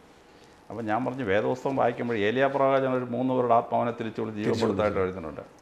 കർത്താവ് ലാസറെ മൂന്നാം ദിവസമാണ് ആത്മാവിനെ തിരിച്ചു വിളിച്ച് ശരീരത്തിൽ കയറ്റി ജീവൻ കൊടുത്തത്. ജേറസിന്റെ മകളെ മോചിപ്പിച്ചു. വിധവസ്ത്രീയുടെ മകനെ യോജിപ്പിച്ചു ജീവിപ്പിച്ചു. കർത്താവ് തന്നെ മരിച്ചിട്ട് വലതുഭാഗത്തെ കള്ളന്റെ കൂടെ പരലോകത്തിൽ പോയിട്ട് മൂന്നാം ദിവസമല്ലേ ഉയർത്തെഴുന്നേറ്റെ? അപ്പോൾ ആത്മാവിന് പോകാൻ പറ്റുമെന്നും തിരിച്ചു കയറാൻ പറ്റുമെന്ന് തന്നെയല്ലേ പറയുന്നതെന്ന് പറഞ്ഞു. അച്ഛൻ കുറച്ച് നേരം ആലോചിച്ചിട്ട് ആ എന്നാൽ പിന്നെ ഞാൻ തർക്കിക്കുന്നില്ല എന്ന് പറഞ്ഞാൽ അദ്ദേഹം ഫോൺ താത്തു വെച്ചു. അപ്പോൾ ഈ വേദപുസ്തകം വായിക്കുമ്പോൾ ഞാൻ വായിച്ച പോലെയല്ല അദ്ദേഹം അച്ഛൻ വായിച്ചത്. അതുകൊണ്ട് ഞാൻ ഈ വേദപുസ്തകം ഉദാഹരണം പറഞ്ഞ അച്ഛൻ പറഞ്ഞു അങ്ങനെയാണ് നിർത്തി വെക്കുന്നത് അദ്ദേഹം ഫോൺ താത്തു വെച്ചു. അപ്പോൾ ഹിന്ദുക്കളുടെ ചരിത്രത്തിനകത്ത് ഇഷ്ടം പോലെ മരിച്ചവരെ ജീവിപ്പിച്ച ഒരുപാട് സംഭവങ്ങൾ ഹിന്ദുമത ഗ്രന്ഥങ്ങളിലുണ്ട്. രാമായണത്തിലുണ്ട് മഹാഭാരതത്തിലുണ്ട്. ഭാഗവതത്തിലുണ്ട്. അല്ല അപ്പൊ സാറ് കരുതുന്നത് മരിച്ചാലും ഈ ആത്മാവ് ഇങ്ങനെ ഒരു സ്ഥലത്തേക്ക് പോകും തന്നെയാണ്. സ്വർഗത്തിലേക്കോ നരകത്തിലേക്കോ. ഞാനൊരു ക്രിസ്ത്യാനിയാണെങ്കിലും ഇക്കാര്യത്തിൽ ഞാൻ ശങ്കരാചാര്യയുടെ കൂടാണ്. അതാ ജീവാത്മാവ് മരിച്ചിട്ട് പരമാത്മാവ് ലയിക്കും അതായത് മനുഷ്യന്റെ ഇഹലോക ജീവിതം ഒരു ടെമ്പററി ഡിറ്റാച്ച്മെന്റ് ഫ്രം പരമാത്മ ആണ്. നമ്മൾ ഈ ലോകത്തിലെ ജീവിതം കഴിഞ്ഞ് പുണ്യപ്രവർത്തികൾ ചെയ്താൽ ഒരു മോക്ഷം കിട്ടി നമ്മൾ പരമാത്മാവ് ലയിക്കും അപ്പോൾ ക്രിസ്തുമതം ഇസ്ലാമിലും പത്തോ എഴുപതോ വർഷത്തെ ജീവിതം കഴിഞ്ഞ് നല്ലതായിട്ട് ജീവിച്ചാൽ മില്യൺസ് ഓഫ് ഇയേഴ്സ് അങ്ങ് സ്വർഗത്തിൽ പോകും. എന്തെങ്കിലുമൊക്കെ തെറ്റ് ചെയ്താൽ മില്യൺസ് ഓഫ് ഇയേഴ്സ് നരകത്തിൽ പോകും. ഇതൊരു നീതിയുള്ള പരിപാടിയല്ല. എഴുപത് കൊല്ലത്തെ ജീവിതത്തിന് വേണ്ടി മില്യൺസ് ഓഫ് ഇയേഴ്സ് സ്വർഗത്തിൽ കൊണ്ട് താമസിക്കുന്ന ഒരു ഇംപ്രപ്പോർഷനേറ്റാണ് ആണ് ആ ബെനിഫിറ്റോ അല്ലെങ്കിൽ ഡിസ്ബെനിഫിറ്റോ ഹിന്ദുമതം പറയുന്നത് ഒരു ജന്മത്തിൽ തെറ്റിപ്പോയെങ്കിൽ ആ ഒരു പൂർവ പുനർജന്മം കിട്ടും. രണ്ട് മൂന്ന് പുനർജന്മം പരമാത്മാവിൽ ലയിച്ചതിന് ശേഷം വീണ്ടും ജനിക്കുന്നു. ഇല്ല. പരമാവധി ലയിച്ച പിന്നെ ജന്മമില്ല ആ. നമ്മൾ തെറ്റ് ചെയ്ത് കഴിഞ്ഞാൽ നമുക്ക് പുനർജന്മം കിട്ടും. ആ പുനർജന്മത്തിൽ നമ്മൾ വീണ്ടും തെറ്റ് കിട്ടുമ്പോഴാണ് പുനർജന്മം പുനർജന്മം കിട്ടും. നമ്മൾ പുണ്യമാണ് തെറ്റിനേക്കാൾ സർപ്ലസ് എങ്കിൽ നമ്മൾ ഈ ജന്മം കഴിയുമ്പോൾ മോക്ഷത്തിലങ്ങ് തീർന്നു. അപ്പോൾ ലയിക്കും. അപ്പോൾ എവറി ഹ്യൂമൻ സോ തെറ്റ് ചെയ്യണം. സേവ്ഡ് അപ്പോൾ തെറ്റ് ചെയ്യണം. തെറ്റ് ചെയ്താൽ പുനർജന്മം കിട്ടും. ഇല്ലെങ്കിൽ നമ്മൾ ആ ജന്മം കൊണ്ടാണ് പോയി, തീർന്നു. പരമാത്മാവിൽ ലയിക്കും. അപ്പം ഈ മതങ്ങളുടെ ശാസ്ത്രം നോക്കുമ്പോൾ ഹിന്ദുമതം പറയുന്നതാണ് കുറച്ചുകൂടെ ശരി. ഇറ്റ് ഈസ് മോർ ജസ്റ്റിഫയബിൾ ആ ജീവാത്മാവും പരമാത്മാവും ഒന്നാണ്. പുണ്യപരമായ ജീവിതം നയിച്ചാൽ അവസാനം പരമാത്മാവിൽ ലയിച്ചിട്ട് നിത്യമായ സന്തോഷത്തിൽ എത്തിച്ചേരുമെന്നുള്ളതാണ് കുറച്ചുകൂടി വിശ്വസനീയമായ സത്യം. ഇത് പറഞ്ഞാൽ ഞങ്ങളുടെ സഭയിലെ അച്ഛന്മാർ എതിർക്കും എങ്കിലും ഒന്ന് സാറ് ഏക ദൈവവിശ്വാസിയായ ഒരു ക്രിസ്ത്യാനിയാണ്. അതെ. അങ്ങനെ നിൽക്കുമ്പോൾ തന്നെ ബഹുദൈവ വിശ്വാസത്തെ അംഗീകരിക്കുന്ന ഈ സനാതന ധർമ്മത്തിന് ഹിന്ദുത്വത്തിൽ എങ്ങനെയാണ് ഇത് രണ്ടും ഒരുമിച്ച് കൊണ്ടുപോകാൻ പറ്റുന്നത്? അപ്പോൾ ഇന്ത്യയുടെ പാരമ്പര്യത്തെപ്പറ്റിയും മഹത്തായ ചരിത്രത്തെപ്പറ്റിയും സംസാരിച്ചു തുടങ്ങിയാൽ ഞാനൊരു ആർ എസ് എസ്സുകാരനാണ്